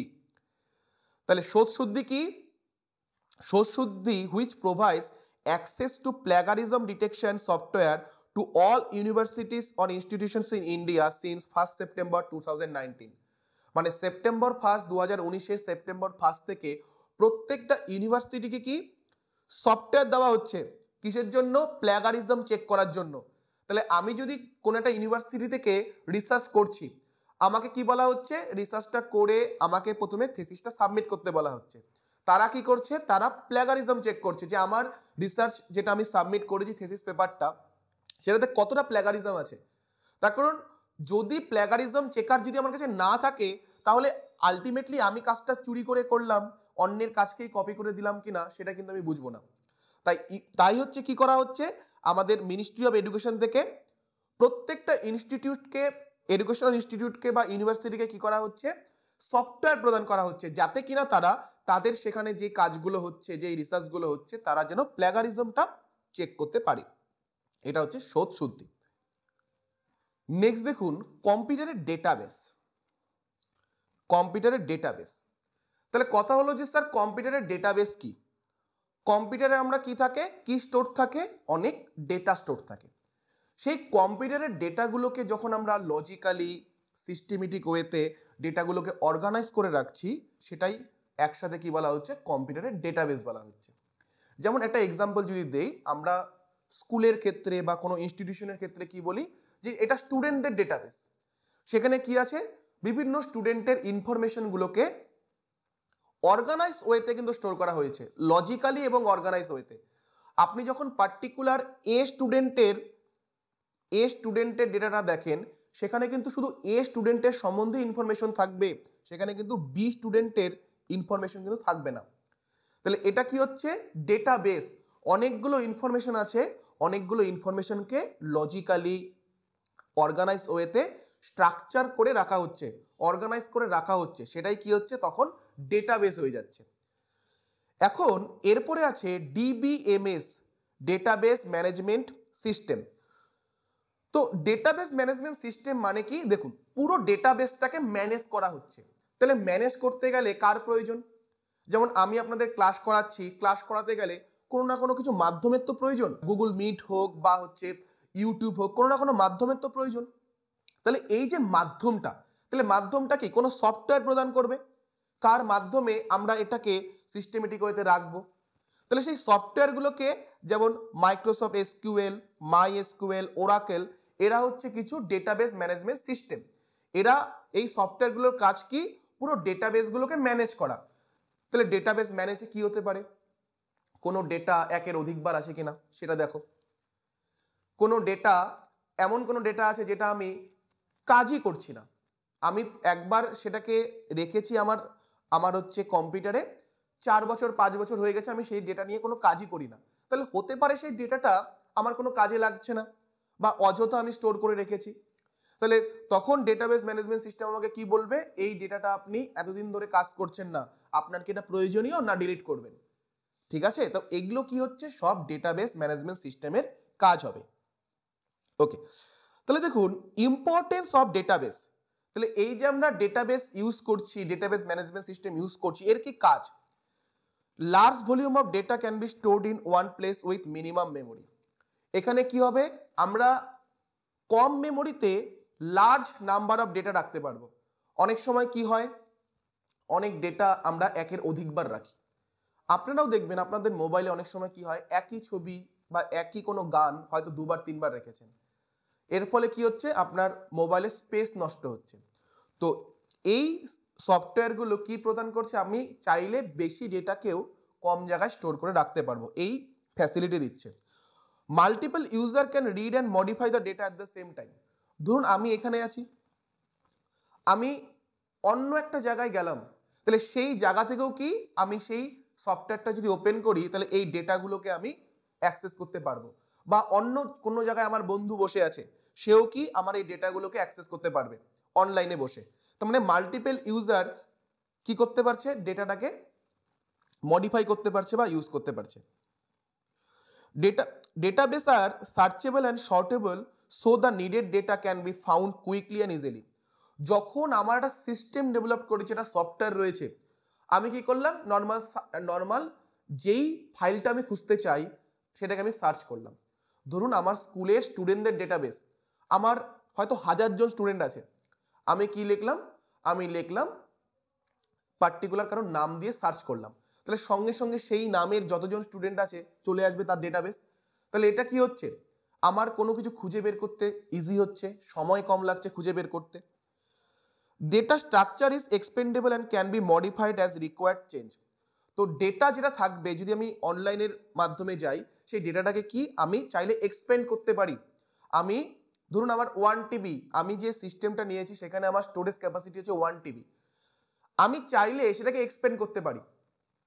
যদি আমি আরও কিছু টাকা খরচা করি, আমি চাইলে কি করতে পারব? সেই স্টোরেজটাকে আমরা এক্সপেন্ড করতে পারব। যেমন আপনারা দেখেন যে গুগল আমাদের পনেরো জিবি ফ্রি ফ্রি ডেটা দেয়। তার বেশি যদি আপনি স্টোরেজ ক্যাপাসিটি নিতে চান, আপনাকে কি গুগলকে পে করতে হবে। It provides better security compare to paper files দেখুন, যেহেতু ডেটাগুলো আমার হচ্ছে ডিজিটাল ফর্মে স্টোর থাকছে, তাই কি এটা পেপারের যে সিকিউরিটি থাকে, যদি আমি কাগজে লিখে রাখি, তার থেকে কি হচ্ছে, বেশি সিকিউরিটি দিচ্ছে। পেপার কি? একটা সময় পরে গিয়ে পেপার নষ্ট হতে পারে, নষ্ট হয়ে যেতে পারে, বা ইঁদুর খাওয়ার ভয় থাকে সব থেকে বড় কথা। ধুলো পড়ার ভয়, এরকম কি পেপারে যেটা লেখা থাকবে সেটা নষ্ট হয়ে যেতে পারে একটা সময়। কিন্তু এখানে ডিজিটাল ফর্মে কি সেই ভয়টা আমাদের কম থাকে বা ডিজিটাল আমরা যখন পেপার ফর্মে থাকছে ডেটা চুরি হওয়ার সম্ভাবনা বেশি থাকে। কিন্তু ডিজিটাল ফর্মে কি আমরা লক করে রাখলাম। আমাদের সিকিউরিটিটা বেশি থাকে। এখানে কি? ডেটা রিডান ডেটা রিডান্ডেন্সি ডেটা রিডান্ডেন্সির জায়গা থাকছে। ডেটা রিডান্ডেন্সি কি? Data data redundancy occurs when same piece of data exist in multiple multiple places তার মানে যদি কোনো ডেটা একটা মাত্র ফাইল একটা গান একটা গান আছে, সেই গানটাকে আমরা কি আমার কম্পিউটারেই আমি সি ড্রাইভে রেখেছি, কোনোটাকে ডি ড্রাইভে রেখেছি, আবার ওটাকে ই ড্রাইভে রেখেছি। মানে একটা ফাইলকে আমি বিভিন্ন জায়গায় রেখেছি। তাহলে সেটা কি হচ্ছে? ডেটা রিডান্ডেন্সি হচ্ছে। তাহলে এই ডেটা রিডান্ডেন্সিকে কমাতে রিডিউস করতে হেল্প করবে হচ্ছে আমাদের ডেটাবেস ম্যানেজমেন্ট সিস্টেম সে আমাকে দেখিয়ে দিবে যে একই ফাইল এই এই জায়গায় স্টোর আছে। তাহলে আমি কি করতে পারব? শুধু একটা জায়গায় রাখব, বাকি জায়গাগুলো থেকে ডিলিট করে দিব, তাহলে আমার স্পেস বাঁচবে। এরপরে কি? Scope for data backup and recovery is possible আমরা এখানে কি?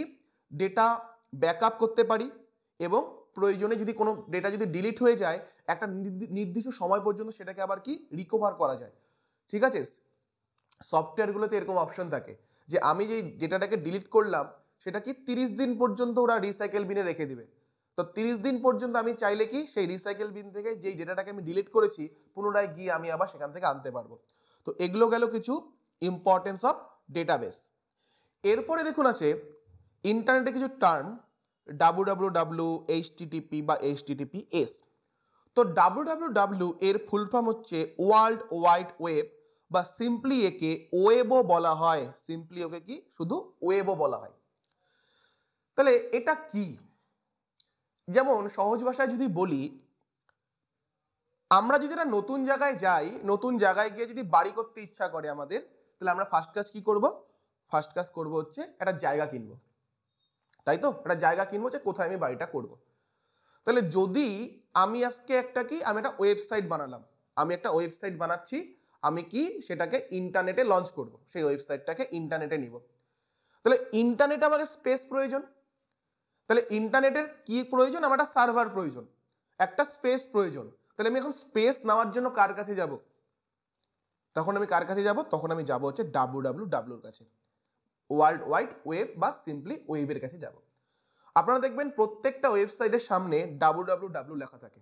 তার মানে প্রত্যেকটা ওয়েবসাইট কি? ডাব্লু ডাব্লু ডাব্লুর আন্ডারে তার মানে ইন্টারনেটকে আমি যদি বলি যে পুরোটা রুল করছে হচ্ছে ডাব্লু ডাব্লু ডাব্লু তাহলে ইন্টারনেটে ডাব্লু ডাব্লু ডাব্লুতে কি হচ্ছে? সবগুলো সার্ভার, আমি হোয়াটসঅ্যাপ বলি, আমি ইউটিউব বলি, আমরা যে কোনো ইন্টারনেটে যে কোনো ওয়েবসাইটে যাই না কেন, সবগুলো সার্ভারকে, সবগুলো সার্ভার কে দিচ্ছে? ডাব্লু ডাব্লু ডাব্লু দিচ্ছে।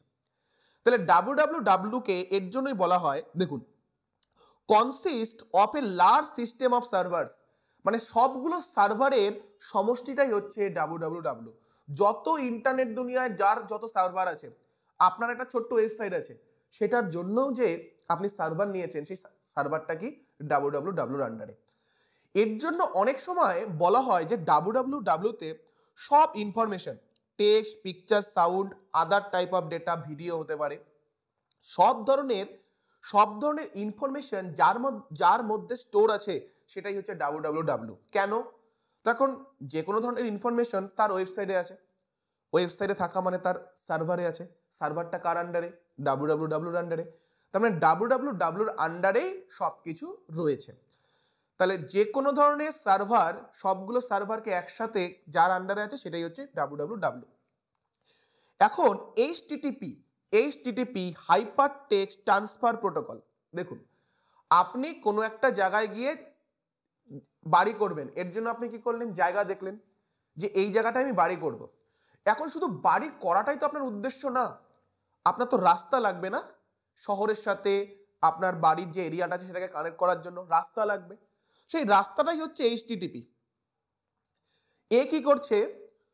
দুজনের মধ্যে কমিউনিকেট করাচ্ছে। দুজন কে কে? একজন হচ্ছে ওয়েব সার্ভার একজন হচ্ছে ওয়েব ব্রাউজার বা ওয়েব ক্লায়েন্ট যেমন আমি একজন ধরুন আমি ইন্টারনেটে কিছু সার্চ করব। তাহলে আমি হচ্ছে ক্লায়েন্ট আমি কোথায় যা যেতে চাই? আমি ধরুন কোনো একটা ওয়েবসাইটে যেতে চাই। যে কোনো কার ওয়েবসাইটে ধরুন আমি এনটি এর ওয়েবসাইটে যেতে চাই। এনটি ইউজিসি নেটের যে ওয়েবসাইট আছে, তার ওখানে যেতে চাই। তাহলে এনটি এর অলরেডি একটা সার্ভার ডাব্লু ডাব্লু ডাব্লু থেকে নেওয়া হয়েছে। তাহলে আমি যখনই নিতে যাব, তাহলে এনটি এর সাথে আমাকে যে কানেকশনের কাজটা করে দিচ্ছে। এনটি এর ওয়েবসাইট আছে এনটি একটা ওয়েবসাইট নিয়েছে। কিন্তু কানেকশনের কাজটা, যে কমিউনিকেশনের কাজটা যে করবে, সে হচ্ছে HTTP hyper text transfer protocol. Client, আমি হচ্ছে ক্লায়েন্ট আর এনটি এর হচ্ছে ওয়েব সার্ভার। তাহলে দুটোর মধ্যে যে কমিউনিকেশনের কাজ, কানেকশনের কাজটা যে করে দিচ্ছে, সেটাই হচ্ছে কি? এইচটিটিপি। আর সার্ভারটা তৈরি করতে এনটিএ যার সাহায্য নিয়েছে বা যার থেকে সার্ভারটা নিয়েছে, সেটা হচ্ছে ডাব্লু আর এই এইচটিটিপি দু ধরনের, একটা নর্মাল এইচটিটিপি একটা এইচটিটিপি এস তো এইচটিটিপি হলে সেটা হচ্ছে হাইপার টেক্সট ট্রান্সফার প্রোটোকল আর যদি এইচটিটিপি এস হয়, তাহলে hyper text transfer protocol secure তো আপনারা যখনই কোনো ওয়েবসাইটে যাবেন, দেখবেন সেটা এইচটিটিপি এস দেওয়া আছে কিনা। এইচটিটিপি এস দেওয়া আছে কিনা।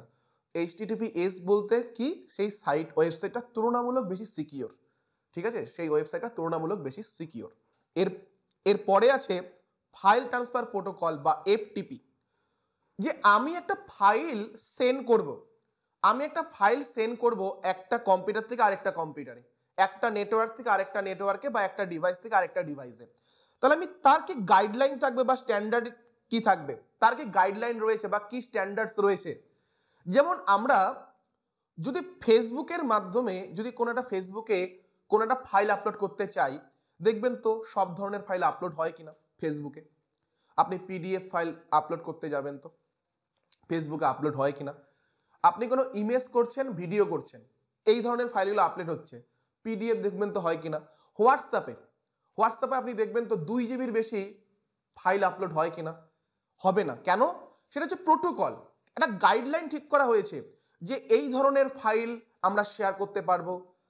এতর সাইজের বেশি তা হতে পারবে না। এরকম কিছু গাইডলাইন ঠিক করা হচ্ছে। তাহলে গাইডলাইনটা কে ঠিক করছে? সেটা ঠিক করছে হচ্ছে ফাইল ট্রান্সফার প্রোটোকল একটা জায়গার থেকে একটা ফাইল যখন আমরা ট্রান্সফার করতে যাচ্ছি একটা কম্পিউটার থেকে আরেকটা কম্পিউটারে যেই গাইডলাইন বা স্ট্যান্ডার্ডগুলো আছে সেটাই হচ্ছে file transfer protocol HTML full form কি? দেখুন hyper text markup language language কি ভাষা? তার মানে নিশ্চয়ই কোনো কিছু তৈরি করতে ইউজ হবে। ল্যাঙ্গুয়েজ তো। তাহলে কী তৈরি করতে ইউজ হবে? Hyper text markup language. ইন্টারনেটে পড়াচ্ছি, তার মানে মনে রাখবেন, যখন আমরা কোনো ওয়েবসাইট তৈরি করতে যাই, ওয়েবসাইট ডিজাইন করতে যাব, তখন আমরা কার সাহায্য নিব? এইচটিএমএল এর সাহায্য নেব, হাইপার টেক্সট মার্কআপ ল্যাঙ্গুয়েজের। এর জন্য আপনারা কোনো ওয়েব পেজ ডাউনলোড করবেন, কোনো একটা ওয়েবসাইটে গিয়ে ওয়েব ওয়েব পেজ ডাউনলোড করবেন, দেখবেন লেখা থাকবে ডট এইচটিএমএল। তখন সেই ওয়েব পেজটার ফরম্যাটটাই হচ্ছে এইচটিএমএল আপনারা যদি কোনো গান ডাউনলোড করেন, কি দেখা, কি থাকে ডট এমপি থ্রি ভিডিও করলে হয় এমপি ফোর বা এমপি অন্য কিছু লেখা থাকে। কিন্তু জেনারেলি কি, যখন একটা ভিডিও ডাউনলোড করছেন এম ডট এমপি ফোর লেখা থাকছে, গান ডাউনলোড করছেন ডট এমপি থ্রি একটা ইমেজ ডাউনলোড করছেন ডট জেপিজি বা জেপিইজি সামথিং এরকম লেখা থাকছে। তাহলে যখন একটা ওয়েব পেজ আপনি ডাউনলোড করবেন ওয়েব পেজ পুরো ওয়েব পেজটাকে ডাউনলোড করবেন। দেখবেন লেখা থাকবে. ডট এইচটিএমএল তার মানে এটা কিসের জন্য? কোনো পেজ আমি ক্রিয়েট করব, কোনো ওয়েবসাইট কোনো ওয়েবসাইট ডিজাইন করব, কোনো ওয়েবসাইট তৈরি করছি, তখন আমরা যার সাহায্য নেব সেটা হচ্ছে এইচটিএমএল এরপরে আছে hyper text hyper link hyper text আপনারা অনেক সময় দেখেন না, কোনো একটা লিঙ্ক এসেছে সামথিং কিছু লেখা আছে। লেখা আছে ওপেন ইট। আপনি যখন সেটাকে ওপেন ইটে ক্লিক করলেন, আরেকটা পেজ খুলে যাচ্ছে। আরেকটা পেজ খুলে যায়। দেখেন কি দেখেন না, অনেক সময় হয় এরকম। তাহলে আমার কাছে কোনো একটা লিঙ্ক এসেছে। আমি সেই লিঙ্কটায় যখন ক্লিক করলাম, আমি দেখলাম সেই লিঙ্কটা থেকে কোনো একটা পেজ খুলেছে। তাহলে যদি যেই পেজটা খুললো, সেই পেজটা যদি কোনো টেক্সট হয়, কোনো লেখা আছে, যেমন আপনারা দেখবেন যদি আপনারা উইকিপিডিয়ায় যান, দেখবেন কোনো একটা ইমেজের মধ্যে নীল করা আছে, সেটা যদি ক্লিক করেন, দেখবেন আরেকটা পেজ খুলে যাবে, সেখানেও দেখবেন অনেক ইনফরমেশন টেক্সট টেক্সট ফর্মে দেওয়া আছে। তো যদি কোনো লিঙ্ক আপনার কাছে আসলো, সেই লিঙ্কে আপনি ক্লিক করলেন, যদি সেটা টেক্সট হয়, যদি সেটা টেক্সটই ওপেন হয়, তাহলে সেটা হবে হাইপার টেক্সট আর আপনি ক্লিক করাতে যদি কোনো ইমেজ চলে আসে, বা কোনো ভিডিও চালু হওয়া শুরু হয়ে যায়, বা কোনো গান চালু হওয়া শুরু হয়ে গেল সেই লিঙ্কটায় ক্লিক হওয়াতে কি হলো? কোনো ভিডিও চালু হয়ে গেল। তখন সেটা হবে হাইপার লিঙ্ক যদি টেক্সট ওপেন হয়, তাহলে হাইপার টেক্সট আর যদি দেখেন টেক্সট না, কোনো ভিডিও ওপেন হয়ে গেছে, তাহলে কি হবে? হাইপার লিঙ্ক এরপর আছে মাল্টিমিডিয়া মাল্টিমিডিয়া একটা সময় আমরা দেখতাম, যখন প্রথম প্রথম মোবাইল আসলো মোবাইলে শুধু ফোন করা যায়। তারপরে হলো কি, গান শোনা যাচ্ছে। কোনো কোনো পার্টিকার পার্টিকুলার মোবাইলে গান শোনা যাচ্ছে ভিডিও দেখা যায় না। কিছু আসলো, তারপরে কিছু আসলো কি পার্টিকুলার অমুক টাইপের ভিডিও শুধু শুধু সাপোর্ট করবে বা সব ধরনের ভিডিও সাপোর্ট করবে না। কিন্তু আজকের দিনে আমরা যে মোবাইল ফোনগুলো ইউজ করি, সেগুলো কি মাল্টিমিডিয়া এখানে সব ধরনের format all format information support করছে। তাহলে মাল্টিমিডিয়া মানে কি a collection of all forms of information যেমন আমরা ইনফরমেশন যেটা দিচ্ছি অডিও ফর্মে থাকতে পারে সাউন্ড শুধু ভিডিও ফর্মে থাকতে পারে ইমেজ ফর্মে থাকতে পারে টেক্সট ফর্মে থাকতে পারে। তাহলে সবগুলো ইনফরমেশনের কালেকশনকেই বলা হচ্ছে? মাল্টিমিডিয়া এরপর একটা ওয়ার্ড আছে স্ট্রিমিং আর একটা আছে ডাউনলোডিং স্ট্রিমিং যখন বলা হচ্ছে স্ট্রিমিং আপনারা দেখেন সবাই অনলাইন স্ট্রিমে আসে অনলাইন ডাউনলোডে কিন্তু আসে না। কি বলে? অনলাইন স্ট্রিমিংয়ে আসব আজকে। তাহলে স্ট্রিমিংটা যুক্ত হচ্ছে আমাদের অনলাইনের সাথে। তাহলে যখন আমরা অনলাইন স্ট্রিমিং হচ্ছে, তখন কি? আমরা ডাইরেক্টলি যেটা দেখতে চাচ্ছি ইমিডিয়েট বেসিসে দেখতে পাচ্ছি সিঙ্কোনাস যখন যখন সেটা চলছে, তখনই আমি সেটা স্ট্রিমিং হচ্ছে, তখনই সেটাকে আমি দেখতে পাচ্ছি। অনলাইন যখন চলছে, যখন কেউ লাইভে আসলো, তখনই তাকে আমি দেখতে পাচ্ছি। ইমিডিয়েট বেসিসে সিঙ্কোনাস বেসিসে দেখতে পাচ্ছি। তাহলে এখানে কি হবে? এখানে আমরা বাফারিং হতে পারে। যদি আমাদের কানেকশন স্লো থাকে, তখন দেখবেন ঘুরতে থাকে। আমরা বলি না কানেকশনটা ঘুরেই যাচ্ছে ঘুরেই যাচ্ছে, সেটা হচ্ছে বাফারিং তো স্ট্রিমিংয়ে কি হবে? বাফারিং হবে। যখন আমরা স্ট্রিমিং করছি, তখন কোনো ফাইলকে আমার ডাউনলোড করার প্রয়োজন নেই। আমি অনলাইনে সেটা দেখছি অনলাইনে সেটা দেখছি। এবং কি, পুরোটাও ডাউনলোড করার প্রয়োজন নেই। পুরোটা স্ট্রিম হবে, তারপরে আমার দেখতে হবে সেটা না। আমি থ্রু আউট দেখতে পারব। পুরোটা স্ট্রিমিং হয়ে গেল, তারপরেই আমি দেখব। তিরিশ মিনিটের ভিডিও পুরোটা পুরোটা স্ট্রিম হলো, তারপরে যে আমি দেখব তা না। এটা কি? তৎক্ষণাৎ আমি দেখতে পারব। এই জন্য কি, যেহেতু লাইভ দেখছি, এর জন্য কি, এখানে মনে রাখবেন speed connection speed connection speed খুব বেশি প্রয়োজন। যদি স্পিড যদি কম থাকে, শুধু বাফারিং হবে। ডাউনলোডিংয়ে কি হবে? ডাউনলোডিংয়ে কোনো একটা ফাইল ইন্টারনেটে আছে, সেটাকে আমি পুরো ডাউনলোড করব তারপরেই সেটা দেখতে পারবে। পুরো ডাউনলোড করতে হবে। কিন্তু ডাউনলোডিংয়ের সুবিধাটা কি? ডাউনলোডিং একটা তো আমরা বলতে পারি অ্যাসিনকনাস কেউ কিছু একটা ফাইল আপলোড করেছে, কেউ যদি মনে করে সেই ফাইলটা রিসিভ করবে, অনেক পরেও করতে পারে। সেটা কি? অ্যাসিনকনাস এবং কি? ডাউনলোড যখন আমরা কোনো কিছু ডাউনলোড করছি, খুব কম স্পিড যদি থাকে ইন্টারনেটের তাহলেও আমরা ডাউনলোড করতে পারব। যেমন লক্ষ্য করুন, আজকের দিনে আমরা অনলাইন স্ট্রিমিং দেখি। গুগল আজকে আমাদের জিও আছে, খুব স্পিড ভালো বা বিভিন্ন ইন্টারনেট যখন ইউজ করছি প্রোভাইডার যারা প্রোভাইড করছে ইন্টারনেট তাদের যখন কানেকশন ইউজ করছি স্পিড ভালো, আমরা কি অনলাইন স্ট্রিমিং দেখতে পারি। কিন্তু ভাবুন তো, আজ থেকে পনেরো বছর, বিশ বছর আগে দু হাজার সাত, আট, নয়ের দিকে, তখন আমরা অনলাইন স্ট্রিমিং করতাম নাকি? দেখবেন অনলাইন স্ট্রিমিং আমরা পারতাম না, সাধারণত। আমরা কি করতাম? ডাউনলোড করতাম। একটা ডাউনলোড বসাতাম, পাঁচ এমবির ফাইল এক ঘণ্টা ধরে ডাউনলোড হচ্ছে, আধা ঘণ্টা ধরে ডাউনলোড হচ্ছে। আজকের দিনে কি এক সেকেন্ডে পাঁচ এমবির ফাইল ডাউনলোড হয়ে যায়। তাহলে আগে স্পিড কম থাকতো, তাই অনলাইন স্ট্রিমিং অনলাইন স্ট্রিমিং আমরা করতে পারতাম না। আগেরকার দিনে কি হতো, আমরা ডাউনলোড করতাম। অনলাইন স্ট্রিমিংয়ে কি হবে, আপনি যতবার অনলাইন স্ট্রিম দেখতে যাবেন, ততবার আপনার ইন্টারনেট খরচা হবে। যেমন আপনি আমার ভিডিওটা দেখছেন, যদি আপনি অনলাইন স্ট্রিমিংয়ে দেখেন, যতবার আপনি আমার ভিডিও দেখবেন, ততবার কি হবে, আপনাকে নেট খরচা করে দেখতে হবে। কিন্তু ডাউনলোডিংয়ে কী হবে? একবার যদি আমি ডাউনলোড করে নেই, আমি যদি পরবর্তীতে ইন্টারনেটের সঙ্গে যুক্ত নাও থাকি অফলাইনও যদি থাকি, তাও আমি কি সেই ডাউনলোডেড ভিডিওটা দেখতে পারব। কিন্তু ডাউনলোডিং যখন আমি করব, তখন কি আমার সিস্টেমে মানে আমার ল্যাপটপে হোক বা কম্পিউটারে হোক স্টোরেজ লাগবে। আমার স্টোরেজ আমার সিস্টেমে সেটা কি হবে? স্টোর হবে। তার মানে সেখানে স্পেস প্রয়োজন হবে। কিন্তু যখন আমরা স্ট্রিমিংয়ে কিছু দেখছি সেখানে কিন্তু আমার ল্যাপটপে হোক বা আমার, আমাদের মোবাইল ফোনে হোক, কোনো কিন্তু স্পেসের প্রয়োজন নেই। আমাদের কিন্তু স্পেস লাগবে না। এরপরে আছে সাইবার সিকিউরিটি আর একটা হচ্ছে নেটওয়ার্ক সিকিউরিটি। সাইবার সিকিউরিটি, এটা কি? অনেক সময় আমরা কি দেখি? আমাদেরকে কোনো লিঙ্ক পাঠানো হলো, সেই লিঙ্কটায় আমরা যেই ক্লিক করলাম, সঙ্গে সঙ্গে আমাদের সিস্টেমটা পুরো হ্যাক হয়ে গেল। আমার ফেসবুক থেকে কিছু উল্টোপাল্টা মেসেজ করা শুরু হয়ে গেল। মানে ডিজিটাল অ্যাটাক থেকে। ডিজিটাল অ্যাটাক থেকে আমাদের সিস্টেমটাকে বাঁচানোর জন্য সেটা হচ্ছে কি cyber security the practice of protecting system networks and programs from digital attacks ঠিক আছে? ডিজিটাল অ্যাটাকের জন্য, থেকে বাঁচানোর জন্য সেটা কি হচ্ছে? সাইবার সিকিউরিটি মেনলি ইন্টারনেট থেকে। ইন্টারনেটের যে খারাপ এফেক্ট সেটা থেকে আমাদের বাঁচানোর জন্য। ঠিক আছে? সেটা হচ্ছে কি আমাদের সাইবার সিকিউরিটি এরপরে গেছে নেটওয়ার্ক সিকিউরিটি নেটওয়ার্ক সিকিউরিটি কি হবে? এখানে ইন্টারনেট নাও থাকতে পারে।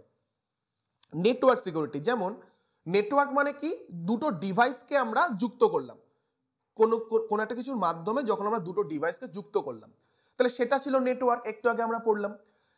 তাহলে আমি আমার কম্পিউটারটাকে, আমি আমার মোবাইলের সঙ্গে যুক্ত করলাম। তার মানে কি হলো? সেখানে নেটওয়ার্ক তৈরি হলো। তাহলে হতে পারে আমার মোবাইলে কোনো, আমার মোবাইলে কোনো ভাইরাস রয়েছে যেটা কিনা যখন আমি ফাইলটা ট্রান্সফার করব কম্পিউটারে, আমার কম্পিউটারেও তাহলে সেটা যাবে। তাহলে সেটা তখন কি হবে? নেটওয়ার্ক সিকিউরিটি এরপরে একটা ইম্পর্টেন্ট টার্ম হচ্ছে আমাদের internet and in intranet and internet এরপরে আমাদের একটা ইম্পর্টেন্ট টার্ম হলো ইন্ট্রানেট এবং ইন্টারনেট দেখুন ইন্ট্রানেট ইন্ট্রা ইন্ট্রা মানে কি হবে? ধরুন দুটো বা তার বেশি ডিভাইস আছে। যখন একটা, ধরুন একটা কি হচ্ছে? একটা অর্গানাইজেশনের মধ্যেই আমি আমার যে ডিভাইসগুলো আছে তাদের আমরা কানেক্ট করছি। একটা অর্গানাইজেশনের মধ্যেই। তখন সেটা কি হচ্ছে? ইন্ট্রানেট হচ্ছে। কিন্তু ধরুন আমি আমি আজকে এখানে বসে আছি। আমি আমেরিকায় যে আছে, তার সাথে আমার কম্পিউটারটাকে যদি কানেক্ট করতে চাই, তখন আমার কি প্রয়োজন? ইন্টারনেট প্রয়োজন।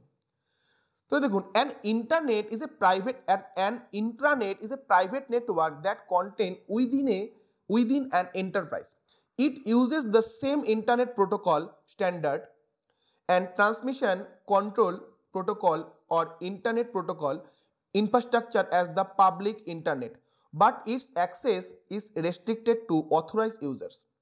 তার মানে ইন্টারনেট ইন্ট্রানেট কি হবে? একটাই আইপি অ্যাড্রেস মানে সবার আমাদের কি? একটা, সবাই আমরা কি? একটাই আইপি অ্যাড্রেস মানে সবাই নেটওয়ার্কটা সেম একটা নেটওয়ার্কের মধ্যেই একের অধিক ডিভাইসকে আমি কানেক্ট করেছি। সেটা কি হবে? ইন্ট্রানেট হবে। An internet can facilitate communication within an organization and share information and resources among employees যেটা আমি একটু আগে বললাম যে, এটা কখন হবে? যখন আমরা যখন একটা আমরা অর্গানাইজেশনে বা একটা ইনস্টিটিউশনে আমরা কি করছি? যা যা ডিভাইস ইউজ হচ্ছে, সবগুলোকে কানেক্ট করছি। কার মাধ্যমে? কার মাধ্যমে কানেক্ট করছি? ইন্ট্রানেটের মাধ্যমে কানেক্ট করছি। সেটা কি হচ্ছে? ইন্ট্রানেট আর ইন্টারনেট কি হবে? যেমন আজকে ইন্টারনেট আপনারা আমার সাথে কানেক্ট হচ্ছেন। কিসের মাধ্যমে? ইন্টারনেটের মাধ্যমে। আমার যে আইপি অ্যাড্রেস আপনার আইপি অ্যাড্রেস সেম হবে না। আমাদের প্রত্যেকের কি? নেটওয়ার্ক আলাদা। তাহলে internet is a global network of computer that allow user to communicate with each other and access information from around the world এখানে কি হচ্ছে যে অ্যারাউন্ড দ্য ওয়ার্ল্ড সারা পৃথিবীতে যত কম্পিউটার আছে ডিভাইস আছে তাদেরকে আমরা একে অপরের সাথে কমিউনিকেট করছি। আমরা একে অপরের সাথে কমিউনিকেট করছি। The internet comprises millions of individual networks, each of with its collection of computer and devices. User can access the internet from anywhere in the world using various devices, including personal computers, laptop, smartphone, tablets. The internet provides user with vast information and resources, including news, entertainment, education, business, more. তাহলে একটা জিনিস বুঝুন intranet আর internet internet যেহেতু একটা অর্গানাইজেশনের মধ্যে সীমাবদ্ধ থাকছে তাই আমি কিন্তু ইন্ট্রানেট যে কোনো সময় যে কোনো জায়গা থেকে কিন্তু অ্যাক্সেস করতে পারব না আমি যদি মনে করি অফিসের সিস্টেমটাকে আমি আজকে ছুটির দিন অ্যাক্সেস করব, আমি কিন্তু পারব না। কারণ আমি অফিসের মধ্যে নেই। তাহলে আমি ইন্ট্রানেটটাকে কিন্তু সব জায়গায় যে কোনো জায়গা থেকে ইউজ করতে পারব না। কিন্তু একটা জিনিস লক্ষ্য করুন, যেহেতু এখানে বাইরের কারোর সাথে আমি কানেক্ট হচ্ছি না, তাই এটা কি হবে? এই সিস্টেমটা অনেক বেশি সিকিওর হবে। এখানে ডেটা ডেটা চুরি হওয়া বা ডেটা নষ্ট করে দেওয়ার চান্স খুব কম থাকবে। যেহেতু আমি বাইরের কারোর সাথে কানেক্ট হচ্ছি না। কিন্তু ইন্টারনেটে কি আমি সবার সাথে কানেক্ট হচ্ছি? আমি যে কোনো সময়, যে কোনো কারোর সাথে কানেক্ট হতে পারছি, যে কোনো সময়, যে কোনো জায়গা থেকে। কিন্তু অসুবিধা কি? যেহেতু এখানে যে কোনো জায়গায় আমি যে কোনো কারোর সাথে কানেক্ট হতে পারছি, তাই এখানে কি ডেটা চুরি হওয়ার ভয় থাকবে?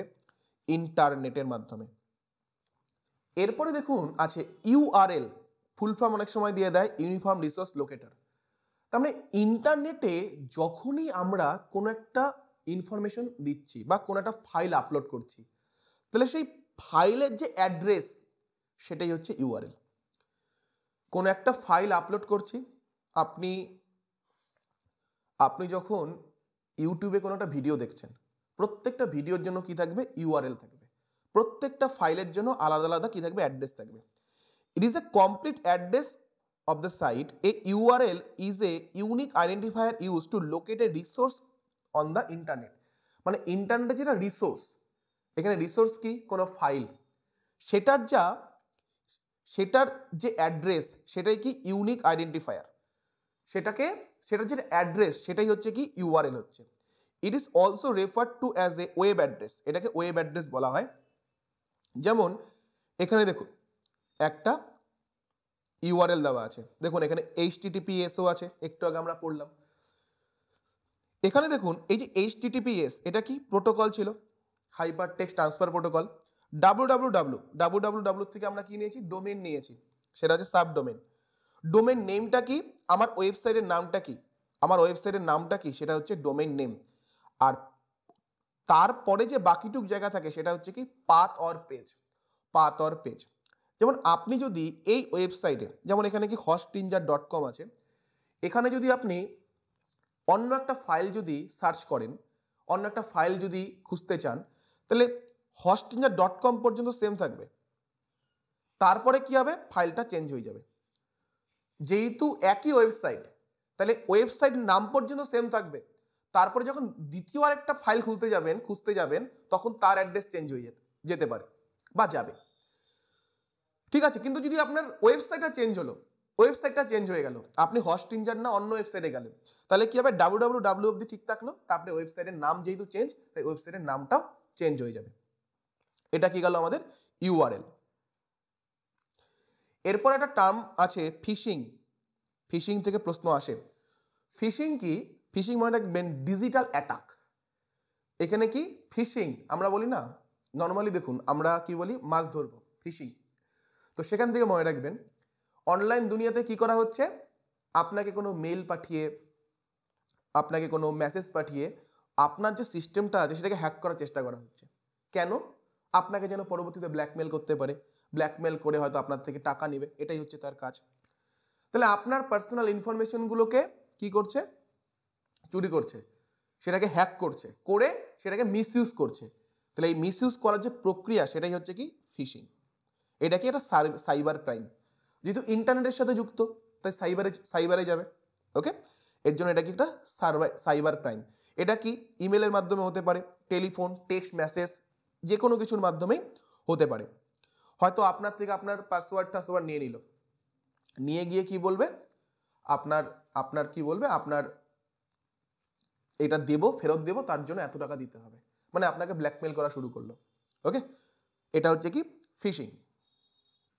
নেক্সট দেখুন, আছে ওয়েব। আমরা যে ওয়েব পড়লাম ওয়েবের জেনারেশন থেকে প্রশ্ন এসেছিল গতবার। Web one point zero, two point zero, three point zero আর আরেকটা আছে ফাইভ পয়েন্ট জিরো। দেখুন, ওয়ান পয়েন্ট জিরো ছিয়ানব্বই থেকে দু হাজার সাল এটা কি শুধু রিড অনলি মানে আগে যখন আমরা প্রথম অবস্থায় যখন ইন্টারনেট ইউজ করতাম, সেটা কি থাকতো শুধু রিড কোনো ইনফরমেশন কোনো ইনফরমেশনকে আমরা কি শুধু রিড করতে পারতাম। আমি যদি আমি যদি চাইতাম সেখানে গিয়ে কোনো ইনফরমেশন আমি দিব, পারব না। বড় বড় কোম্পানিরা যা ইনফরমেশন দিত, সেটাই আমরা কি করতে পারতাম, পড়তে পারতাম। আমি নতুন করে কিছু কমেন্ট করব, নতুন করে কিছু আমি নিজে থেকে আপলোড করব, সেগুলো আমরা পারতাম না। সেটা কি হচ্ছে? রিড অনলি ওয়েব ছিল সেটা। এরপরে আসলো দু হাজার চার থেকে দু হাজার ষোলো সাল, সেটাকে বলা হচ্ছে web two point zero participative social web দেখুন, এখানে ধীরে ধীরে সোশ্যাল মিডিয়া আসলো। দু হাজার চার পাঁচের দিকে লক্ষ্য করুন অর্কুড আসলো, ধীরে ধীরে ফেসবুক আসলো। আজকের দিনে কত এই ধরনের সোশ্যাল সাইট আসছে। তাহলে সেখানে কি আমরা পার্টিসিপেট করছি? আমরা একে অপরের সাথে কি পার্টিসিপেট করতে পারছি? আমরা একে অপরের সাথে কথোপকথন করতে পারছি। এগুলো কি হলো? Web two point zero web three point zero কি? রিড রাইট অ্যান্ড এক্সিকিউট দেখুন, আগেরটাতে কি ছিল? রিড পড়তে পারতাম রাইট করতে পারতাম। কিন্তু আজকের দিনে দেখুন এক্সিকিউট আজকের দিনে আমরা সবাই ইন্টারনেটে রীতিমতো ভিডিও আপলোড করতে পারছি, সবাই। কিন্তু এই ফ্যাসিলিটিগুলো কিন্তু আগে এতটা ছিল না।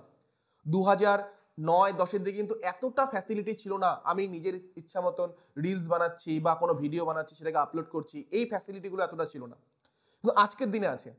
তাহলে এটা কি হচ্ছে? Read write and execute decentralise হয়ে গেছে সব কিছু এবং আরেকটা অনেক সময় ওয়েব ফাইভ পয়েন্ট জিরো বলে, এটা ডেভেলপ হচ্ছে, আজকের দিনে এখনও দেখুন আমাদের ইন্টারনেট আমাদের ইমোশনকে কিন্তু বোঝে না। আমাদের ইমোশন বোঝে না কিন্তু আমাদের ইমোশনকে তো আমাদের ইমোশনটাকে বোঝানোর চেষ্টা করা হচ্ছে ওয়েব ফাইভ পয়েন্ট জিরোতে তো। এটা গেল আমাদের ওয়েব সিম্পল এতটুকু মনে রাখুন। আশা করি এতটুকু থেকে বুঝলেই অ্যান্সার করতে পারবেন। ওকে এরপরে আছে আমাদের কম্পিউটারের ল্যাঙ্গুয়েজ কম্পিউটারের ল্যাঙ্গুয়েজের মধ্যে আমরা জানি যে তিনটা ল্যাঙ্গুয়েজ মেন যদি আমরা যদি যাই কীভাবে হিস্ট্রি কীভাবে আসলো, প্রথম হচ্ছে মেশিন ল্যাঙ্গুয়েজ, তারপর হচ্ছে অ্যাসেম্বলি ল্যাঙ্গুয়েজ এবং তারপরে আসলো হচ্ছে আমাদের হচ্ছে হাই লেভেল ল্যাঙ্গুয়েজ। তো machine level machine level language কী ছিল? মেশিন লেভেল ল্যাঙ্গুয়েজ ছিল যে কম্পিউটার কি জানে? শুধু জিরো আর ওয়ান বোঝে। কম্পিউটার জিরো আর ওয়ান ছাড়া কিছু বোঝে না। তাহলে মেশিন ল্যাঙ্গুয়েজ কি হবে? কম্পিউটারকে যখনই কোনো আমি একটা প্রোগ্রামিং করতে যাচ্ছি, আমি একটা সফটওয়্যার তৈরি করব, তার জন্য আমাকে কি প্রোগ্রামিং করতে হবে? সেই প্রোগ্রামিং করতে গিয়ে কি আমি কম্পিউটারকে যত ইনফরমেশন আছে, সব কি জিরো আর ওয়ানের ফর্মে দিব। কম্পিউটার যেই ভাষা বোঝে, সেই ভাষায় কম্পিউটারকে বোঝাবো। তাহলে সেটা কি হচ্ছে? মেশিন ল্যাঙ্গুয়েজ কম্পিউটারের মেশিন মেশিনের যেটা ল্যাঙ্গুয়েজ জিরো আর ওয়ান ছাড়া কিচ্ছু বোঝে না। তার মানে যে কোনো ইনস্ট্রাকশন আমি কম্পিউটারকে দিব, কিসের ফর্মে দিব? জিরো আর ওয়ানের ফর্মে তাহলে একটা জিনিস ভাবুন সাধারণ মানুষ এটা ইউজ করতে পারবে না। যদি কেউ এক্সপার্ট হয়, খুব হাই লেভেলের এক্সপার্ট হয়, তারাই কিন্তু শুধু কম্পিউটারকে ইউজ করতে পারবে। এটা গেল মেশিন ল্যাঙ্গুয়েজ মেশিন ল্যাঙ্গুয়েজের পরে আসলো অ্যাসেম্বলি ল্যাঙ্গুয়েজ অ্যাসেম্বলি ল্যাঙ্গুয়েজে কি করা হলো? কোড আমি কম্পিউটারকে কোনো ইনস্ট্রাকশন দিব, সেখানে কি জিরো আর ওয়ান না বলে বিভিন্ন কোড থাকতো। কোড ঠিক আছে? সেই কোডগুলো দেওয়া হতো। এখন দেখুন, এই, এটা তো ঝামেলা কি হলো? তুলনামূলক একটু সুবিধা হলো, কিন্তু এখানেও তো আপনাকে কোড মনে রাখতে হচ্ছে।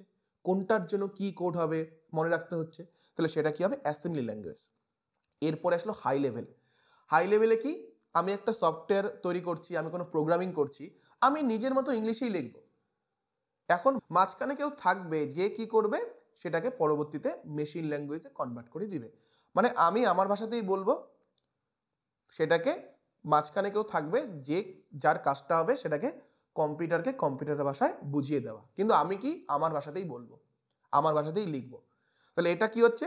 হাই লেভেল ল্যাঙ্গুয়েজ এরপরে দেখুন আমাদের যেটা ইম্পর্টেন্ট জায়গা, যেখান থেকে পরীক্ষায় প্রশ্ন আসে ইমেল সার্ভিস ইমেল তো ইমেল যখন আমরা পড়তে যাচ্ছি ইমেলের মেনলি দুটো পার্ট থাকছে। আচ্ছা ইমেলের যে সার্ভিস যারা প্রোভাইড করে, কিছু নাম দেওয়া আছে, দেখুন।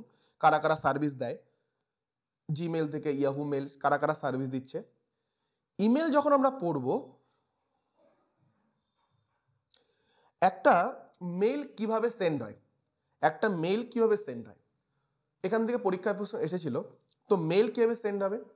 প্রথমে একজন সেন্ডার আমি মেলটা সেন্ড করলাম কাকে? রিসিভারকে রিসিভার কিন্তু ডাইরেক্ট রিসিভ করবে না। কি করবে? সেন্ডার কি করছে? যখন মেলটা সেন্ড করছে, সেটা কি যাচ্ছে? সেন্টার যেই, সেন্ডার, তার যে সার্ভার, আমি গুগল ডট কম ইউজ করি। আমার মেলটা হচ্ছে গুগল ডট কমের গুগলের মেল অ্যাড্রেস। তাহলে আমি যখনই মেলটা করছি, সেটা কোথায় যাবে? গুগলের সার্ভারে যাবে, গুগলের মেইলের সার্ভারে যাবে। এখন গুগল দেখবে যে মেলটা কাকে সেন্ড করা হয়েছে। দেখা যাচ্ছে সেটা সেন্ড করা হয়েছে ইয়াহু মেলকে। তাহলে গুগল কার সার্ভারে সেটা পাঠাবে? ইয়াহু মেলের সার্ভারে সেটা পাঠাবে। ইয়াহু মেল কি দেখবে? আমার সার্ভারে আসলো, তাহলে অ্যাড্রেসটা কার আছে? কার কোন পার্সনকে দেওয়া হয়েছে? সেই পার্সনের যে অ্যাড্রেস মেইল অ্যাড্রেস সেটাতে সেন্ড করা হবে, তারপরে সেই পার্সন সেটাকে পড়বে। তো এই হচ্ছে প্রসেস সেন্ডার সেন্ড করছে মোবাইল আমি লিখলাম কিছু, সেটাকে সেন্ড করলাম সেন্ড করে কোথায় যাবে সেটা? সেটা যাবে হচ্ছে আমাদের সর্বপ্রথম আমি যেই ওয়েবসাইট আমি যেই যেই জিমেল ইউজ করছি তার সার্ভারে সে কি করবে? আমি যাকে পাঠিয়েছি তার সার্ভারে পাঠাবে। সেই সার্ভার কি করবে? যাকে পাঠানো হয়েছে, তার কাছে যাবে। এই হচ্ছে পুরো প্রক্রিয়াটা ঘটে। দেখুন, এরপরে ইমেলের যেখান থেকে প্রশ্ন আসে সিসি বিসিসি সেটা পড়াবো। ইমেলের দুটো স্ট্রাকচার দুটো পার্ট থাকে, একটা হচ্ছে হেডার একটা হচ্ছে বডি তো হেডারের মধ্যে কোন জিনিসগুলো আসে? Subject sender data time receive reply to recipient recipient email address attachment CC BCC subject আমি যে মেলটা লিখতে যাচ্ছি, তার সাবজেক্ট কি হবে? যেমন আমরা ছোটবেলায় যখন অ্যাপ্লিকেশন লিখতাম অ্যাপ্লিকেশন লেখার সময় সাবজেক্ট লিখতাম। তো হেডারে কি থাকে? সাবজেক্ট থাকে। সেন্ডার কার থেকে মেসেজটা যাচ্ছে? ডেটা অ্যান্ড টাইম রিসিপ্ট কোন সময় কোন একটা, কোনো একটা ফাইল বা কোনো একটা ইমেল সেটা কি হলো? রিসিভড হলো। রিপ্লাই আমি যে আমাকে মেসেজটা করল, তাকে যদি আমি রিপ্লাই করতে চাই, সেই রিপ্লাই টু রেসিপিয়েন্ট কাকে আমি মেল সেন্ড করব রেসিপিয়েন্ট মেইল অ্যাড্রেস তার অ্যাড্রেসটা কি হবে অ্যাটাচমেন্ট কোন ফাইল আমি সেন্ড করতে যাব সেটা অ্যাটাচমেন্টে ক্লিক করি আমরা। সিসি বিসিসি সিসি বিসিসি খুব ইম্পর্টেন্ট সেটা আমরা এখন পড়ব। দেখুন, বাকিগুলো এখানে দেওয়া আছে ইজি জিনিস, যা বললাম, এখানে আছে, বুঝে যাবেন।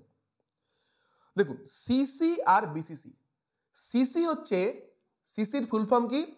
কার্বন কপি আর বিসিসি হচ্ছে ব্লাইন্ড কার্বন কপি তাহলে আমি কি করছি? মেসেজটা আমি এক্স কে সেন্ড করব।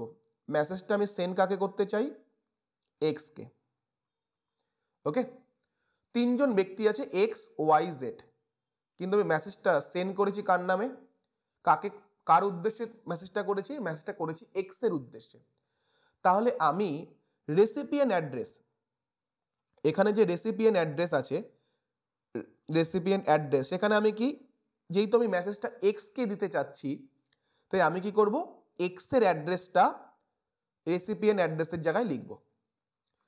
এখানে কি থাকবে? সিসি থাকবে বিসিসি থাকবে। ধরুন, আমি মেসেজটা কার উদ্দেশ্যে করছি? এক্সের উদ্দেশ্যে। তাহলে এক্সের অ্যাড্রেসটা এখানে থাকল। আমি সিসিতে যদি, এখন যদি সিসিতে যদি ওয়াই আর জেডকে রাখি ওয়াই আর জেডকে রাখি, তাহলে কি হবে? আমি মেসেজটা করেছি হচ্ছে, আমি মেসেজটা করেছি হচ্ছে এক্সকে উদ্দেশ্য করেছি হচ্ছে এক্সকে কিন্তু সিসিতে কাকে রেখেছি? কার্বন কপিতে কাকে রেখেছি? ওয়াইকে আর জেডকে মানে আমি যে মেসেজটা করেছি, তার একটা কার্বন কপি আমি ওয়াইকে এবং জেডকেও সেন্ড করলাম। ওয়াইকেও সেন্ড করলাম, আবার জেডকেও সেন্ড করলাম। তাহলে মেসেজটা উদ্দেশ্যটা হচ্ছে এক্সের উদ্দেশ্যে। কিন্তু আমি যে মেসেজটা এক্সকে করেছি, তার একটা কার্বন কপি আমি ওয়াইকেও সেন্ড করলাম জেডকেও সেন্ড করলাম, যে তাদের জানানো যে হ্যাঁ আমি কিন্তু দেখুন এক্সকে কিন্তু সেন্ড করে দিয়েছি। তাহলে এটা কি হলো? এটা হলো হচ্ছে সিসির কাজ। উদ্দেশ্য কার উদ্দেশ্যে করেছি? এক্সের উদ্দেশ্যে করেছি। যার উদ্দেশ্যে করব তাকে রাখব রেসিপিয়েন্টে ঠিক আছে? রেসিপিয়েন্টের অ্যাড্রেসে যার উদ্দেশ্য হবে তাকে রাখব। বা তাদের রাখব, যার উদ্দেশ্যে করব বা যাদের উদ্দেশ্যে করব, তাকে কিসে রাখব? টুতে বা রেসিপিয়েন্টের অ্যাড্রেস যেখানে লেখার জায়গা থাকবে সেখানে। কার্বন কপি, আমি এই কপিটা কাকে কাকে সেন্ড করতে চাই, তাদের উদ্দেশ্যে কিন্তু না। তাদের উদ্দেশ্যে কিন্তু মেসেজটা করিনি। আমি তাদের দেখাতে চাই যে হ্যাঁ আমি মেসেজটা সেন্ড করেছি। সেটা থাকবে কিসে? সিসিতে ধরুন, কথার কথা, আমি এক্স কে মেসেজটা সেন্ড করলাম, আমি কি করলাম? আমি ওয়াই আর জেডকে সিসিতে না রেখে বিসিসিতে রাখলাম। যখন সিসিতে রেখেছিলাম ওয়াই আর জেডকে তখন এক্স দেখতে পাচ্ছিল যে আমি মেসেজটা ওয়াই আর জেডকেও সেন্ড করেছি। কি বললাম? যখন আমি ওয়াই আর জেডকে সিসিতে রেখেছিলাম সিসিতে রেখেছিলাম কার্বন কপিতে রেখেছিলাম, তখন এক্সকে যে আমি মেসেজটা সেন্ড করেছি মেলটা সেন্ড করেছি, সে দেখতে পাচ্ছিল আমি মেসেজটা কি ওকে করার সাথে সাথে এক্স আর ওয়াইকেও সেন্ড করেছি।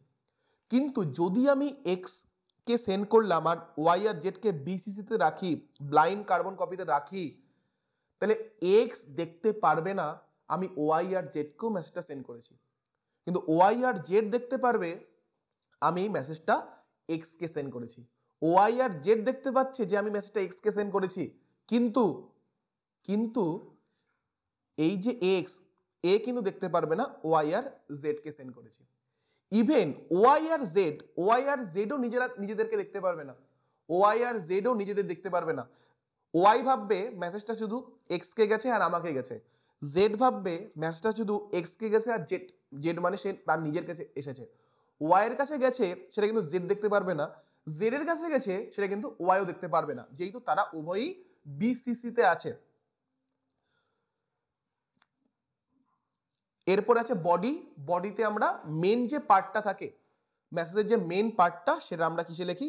বডিতে লিখি। মেন যে মেসেজটা সেটা আমরা কোথায় লিখি? বডিতে লিখি। এরপরে দেখুন মেসেজিং মেসেজিং দু ধরনের হয়, একটা হচ্ছে অ্যাসিনকোনাস একটা হচ্ছে শ্রিঙ্কোনাস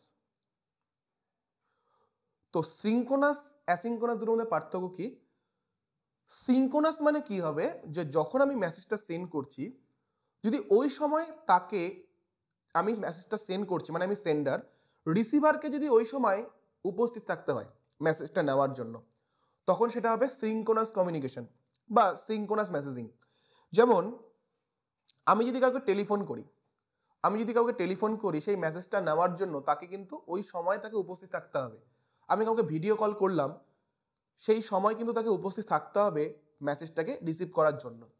তাহলে সেটা কি হবে? সিঙ্কোনাস মেসেজিং ওই সময় লাইভ চ্যাট যখন আমাদের হচ্ছে লাইভ চ্যাটিং হচ্ছে, তখন কি ওই সময়ই তাকে উপস্থিত থাকলে সে কি মেসেজটা দেখতে পারবে? সেটা হবে সিঙ্কোনাস মেসেজিং আর অ্যাসিঙ্কোনাস কি হবে? যখন, তখন, যখন আমি মেসেজটা সেন্ড করছি রিসিভার যদি তখন উপস্থিত নাও থাকে, তাও সে মেসেজটা পাবে। যেমন ইমেল আমি যখন ইমেল পাঠাচ্ছি, তখন জরুরি না আপনাকে তখন অনলাইন থাকতে হবে। আমি হোয়াটসঅ্যাপের মাধ্যমে বা টেলিগ্রাম চ্যানেলের মাধ্যমে কোনো একটা ফাইল আপলোড করছি, জরুরি না আপনাকে সেই সময় অনলাইনে থাকতে হবে, তাহলেই আপনি মেসেজটা পাবেন। তাহলে এটা কি হচ্ছে? অ্যাসিঙ্কোনাস মেসেজিং আচ্ছা এরপরে আসে সফটওয়্যার সফটওয়্যার কি? আমরা সবাই জানি সফটওয়্যার হচ্ছে, মনে রাখবেন যারা জানেন না সফটওয়্যার আর কিছুই না, এক ধরনের প্রোগ্রামিং এক ধরনের কি? প্রোগ্রামিং আমি কম্পিউটারকে কোনো একটা কাজ করাবো কোনো একটা কোনো একটা কাজ করাবো কম্পিউটার তো এমনি এমনি করবে না। তাহলে আমাকে কি কম্পিউটারকে কোনো ইনস্ট্রাকশন দিতে হবে? তাহলে সেই ইনস্ট্রাকশনটা দেওয়ার জন্য আমরা কি করছি? একটা প্রোগ্রামিং তৈরি করছি। একটা প্রোগ্রামিং তৈরি করলাম। সেই প্রোগ্রামিংটাকে কি হচ্ছে? রান হচ্ছে। সেই, তখন সেটা কি হচ্ছে? একটা সফটওয়্যার হচ্ছে। সফটওয়্যার আর কিছুই না কম্পিউটারকে যখন আমরা কোনো প্রোগ্রামিং প্রোগ্রামিংয়ের মাধ্যমে কোনো একটা ইনস্ট্রাকশন দিচ্ছি, তখন সেটা কি হচ্ছে? একটা সফটওয়্যার হচ্ছে। যেমন আপনারা কি গুগল মিট ইউজ করছেন তা ইউটিউব ইউজ করছেন, আপনারা ইউটিউবে যাচ্ছেন, কোনো একটা কিছু সার্চ করলেন। তাহলে সার্চ করার সঙ্গে সঙ্গে যখন আপনারা সার্চ করলেন ICT for NTA NET exam তখন এনটিএ নেট এক্সামের জন্য যা যা ভিডিও আছে আইসিটির উপর সেগুলো দেখানো শুরু করল। তার মানে সেই সফটওয়্যারটাকে এমনভাবে প্রোগ্রাম করা হয়েছে যে যখন কেউ এইভাবে সার্চ করবে, তাকে এই ধরনের ফাইলগুলো দেখানো। তাহলে এটাই হচ্ছে কি সফটওয়্যার একটা প্রোগ্রামিং কোনো একটা উদ্দেশ্য নিয়ে করা হয়েছে, ঠিক আছে? এটা প্রোগ্রামিং করা হয়েছে কম্পিউটারকে কোনো ইনস্ট্রাকশন দেওয়ার জন্য। এটাই হচ্ছে কি সফটওয়্যার তাহলে সফটওয়্যার অনেক ধরনের হয়, তার মধ্যে ইম্পর্টেন্ট হচ্ছে আমাদের operating software operating system software তো অপারেটিং সিস্টেম মানে কি? আমি কম্পিউটারটাকে অপারেট করব। যেমন আমরা মোবাইলে কি? অ্যান্ড্রয়েড ইউজ করি। অ্যান্ড্রয়েডটাকে একটা অপারেটিং সিস্টেম যারা অ্যাপেলের আইফোন ইউজ করে, তাদের জন্য অপারেটিং সিস্টেম আলাদা। আইফোনের অপারেটিং সিস্টেম আলাদা রয়েছে। Mac Mac OS. আমরা যখন ল্যাপটপে আছি, তখন আমরা উইন্ডোজ অপারেটিং সিস্টেম ইউজ করছি। ঠিক আছে? তো এগুলো হচ্ছে কিছু অপারেটিং সিস্টেম। বিভিন্ন আমরা কম্পিউটার যেটা রয়েছে, তাকে অপারেট করতে যেই সফটওয়্যার, সেটা হচ্ছে অপারেটিং সিস্টেম। এরপর আছে ডিভাইস ড্রাইভার সফটওয়্যার তো ডিভাইস ড্রাইভার সফটওয়্যার কি? যখন আমি অপারেটিং সিস্টেমটা কম্পিউটারে অন করলাম বা কম্পিউটারে আমি এটাকে ইনস্টল করলাম অপারেটিং সিস্টেমটা এখন কম্পিউটারটাকে চালানোর জন্য কম্পিউটারে যেন গান শোনা যায়, তার জন্য কি আমাকে সাউন্ডের সফটওয়্যার ইনস্টল করতে হবে। কম্পিউটারে যেন ভিডিও দেখা যায়, তার জন্য সফটওয়্যার ইনস্টল করতে হবে। কম্পিউটারে যেন কোনো ইমেজ দেখা যায় গ্রাফিক্স যেন ঠিকঠাক থাকে, তার জন্য গ্রাফিক্সের সফটওয়্যার ইনস্টল করতে হবে। এগুলো হচ্ছে ড্রাইভার সফটওয়্যার আচ্ছা এরপরে আসবে ইউটিলিটি সফটওয়্যার ইউটিলিটি মানে এটার কাজ হচ্ছে মেনলি আমার কম্পিউটারের পুরো সিস্টেমটাকে ঠিকঠাক মতো চালানোর জন্য। আমি কম্পিউটারে কোনো অ্যান্টিভাইরাস ইউজ করলাম। কোনো কম্পিউটারে কোনো অ্যান্টিভাইরাস ইনস্টল করলাম। এই সফটওয়্যারটা ইনস্টল করলাম। অ্যান্টিভাইরাস ছাড়াও কিন্তু কম্পিউটার চলবে। কিন্তু অপারেটিং সিস্টেম ছাড়া কিন্তু কম্পিউটার চলবে না। কিন্তু কম্পিউটারটাকে কি স্মুথভাবে রান করার জন্য। কম্পিউটারটাকে যদি স্মুথভাবে রান করতে চাই, তখন যে সফটওয়্যারটা প্রয়োজন সেটা হচ্ছে ইউটিলিটি সফটওয়্যার যেমন antivirus software file management software ঠিক আছে? ডিস্ক ক্লিন আপ সফটওয়্যার এগুলো হচ্ছে কি আমার ইউটিলিটি সফটওয়্যার এরপরে আসবে অ্যাপ্লিকেশন সফটওয়্যার বা অ্যাপ যেটাকে আমরা বলি app A double P app বলি, সেটাই হচ্ছে অ্যাপ্লিকেশন সফটওয়্যার এখানে কি? ইউজার তার নিজের সুবিধার জন্য যেই অ্যাপগুলো ইউজ করে বা যেই সফটওয়্যারগুলো ইউজ করছে। যেমন আমরা মোবাইলে মোবাইলে ইউটিউব ইউজ করছি, গুগল মিট ইউজ করছি, এগুলো কি আমরা আমাদের সুবিধার জন্য, আমরা আমাদের যেটা প্রয়োজন হচ্ছে সেই মতো আমরা কিছু সফটওয়্যার ইউজ করছি, সেগুলো কি হচ্ছে? Application software. এরপরে আছে ওপেন রিসোর্স সফটওয়্যার। কিছু কিছু সফটওয়্যার থাকে, সেই সফটওয়্যারগুলো কি আমরা নিজেদের মতো মডিফাই করতে পারি। কিছু কিছু সফটওয়্যার থাকে, যেই সফটওয়্যারগুলো কি? সেই সফটওয়্যারে আমরা নিজে থেকে মডিফাই করার জায়গা থাকে। সেগুলো হচ্ছে ওপেন রিসোর্স সফটওয়্যার যেমন আমরা যখন নর্মাল সফটওয়্যারগুলোকে দেখি, যেমন আপনি ইউটিউব দেখেন, এগুলোকে কিন্তু আপনি নিজের মতো করে মডিফাই করতে পারবেন না। কিন্তু ওপেন রিসোর্স সফটওয়্যারে কী হবে? এর যে কোডিংগুলো থাকে মানে যে প্রোগ্রামিংটা থাকে, সেটাকে আপনি চেঞ্জ করতে পারবেন। ওকে তো সেটা হচ্ছে ওপেন রিসোর্স সফটওয়্যার যেমন মজিলা ফায়ারবক্স ভিএলসি দেখুন, পরীক্ষার সময় এখান থেকে প্রশ্ন দিচ্ছে। ইন্ডিয়াতে কিছু প্ল্যাটফর্ম আছে যেগুলো কিনা ওপেন রিসোর্স সফটওয়্যারের উপর বেস করে তৈরি করা হয়েছে। যেমন ডিজি লকার দীক্ষা আরোগ্য সেতু অ্যাপ কোভিড নাইন্টিনের জন্য যে কোউইন এই যে সফটওয়্যারগুলো আছে, এই সফটওয়্যারগুলো কি ওপেন রিসোর্স প্ল্যাটফর্মের ওপর তৈরি করা হয়েছে? নামগুলো মনে রাখুন। এখানে কিছু এখানে কিছু পপুলার নাম আছে ওপেন রিসোর্স সফটওয়্যার যেমন অডাসিটি এটা হচ্ছে সাউন্ড রেকর্ডিংয়ের ক্ষেত্রে বা সাউন্ড এডিটিংয়ের ক্ষেত্রে প্রয়োজন হয় অডাসিটি ভিএলসি মোজিলা ফায়ারফক্স ঠিক আছে? নামগুলো মনে রাখবেন ব্রেভ ব্রেভটা হচ্ছে ব্রাউজার হ্যাঁ? ব্রেভটা হচ্ছে কিন্তু ব্রাউজার ব্রাউজার ক্রোমিয়াম এরকম কিছু নাম আছে, নামগুলো মনে রাখুন। এগুলো হচ্ছে ওপেন রিসোর্স সফটওয়্যার আচ্ছা এই জায়গা থেকে গতবার প্রশ্ন পেয়েছি, গতবার জুন জুলাইয়ের প্রশ্ন। Freeware shareware software. Free wire, তার মানে যেই সফটওয়্যারগুলো টোটালি ফ্রি, আপনি ইনস্টল করলেন, আপনাকে এক টাকাও দিতে হচ্ছে না, সেগুলো হচ্ছে ফ্রি ওয়্যার। শেয়ার ওয়্যার কি? আপনি ইউজ করলেন ট্রায়াল বেসিসে। দেখবেন অনেক সফটওয়্যার ট্রায়াল থাকে। আপনাকে বলবে ট্রায়াল। কি বলা হচ্ছে? সেটা আপনি ট্রায়াল বেসিসে ইউজ করলেন। কি হলো? এক মাসের জন্য ইউজ করলেন। আপনি ওয়ান মান্থের জন্য ইউজ করলেন। কিন্তু এক মাস পরে কি আপনি যদি সেটাকে যদি বা আপনি যদি সেটাকে কন্টিনিউ করতে চান, তাহলে আপনাকে কি পয়সা দিতে হবে। ডিয়ার ফ্রেন্ডস আপনাদের ভিডিওটা কেমন লাগল অবশ্যই কমেন্ট করে জানাবেন। ভিডিও যদি ভালো লেগে থাকে, অবশ্যই ভিডিওটাকে লাইক করবেন, যার প্রয়োজন তার সাথে শেয়ার করবেন। এরকম আরও ভিডিও পেতে আমাদের চ্যানেলটাকে অবশ্যই সাবস্ক্রাইব করবেন। ভালো থাকবেন এবং সবাইকে ভালো রাখবেন। Thank you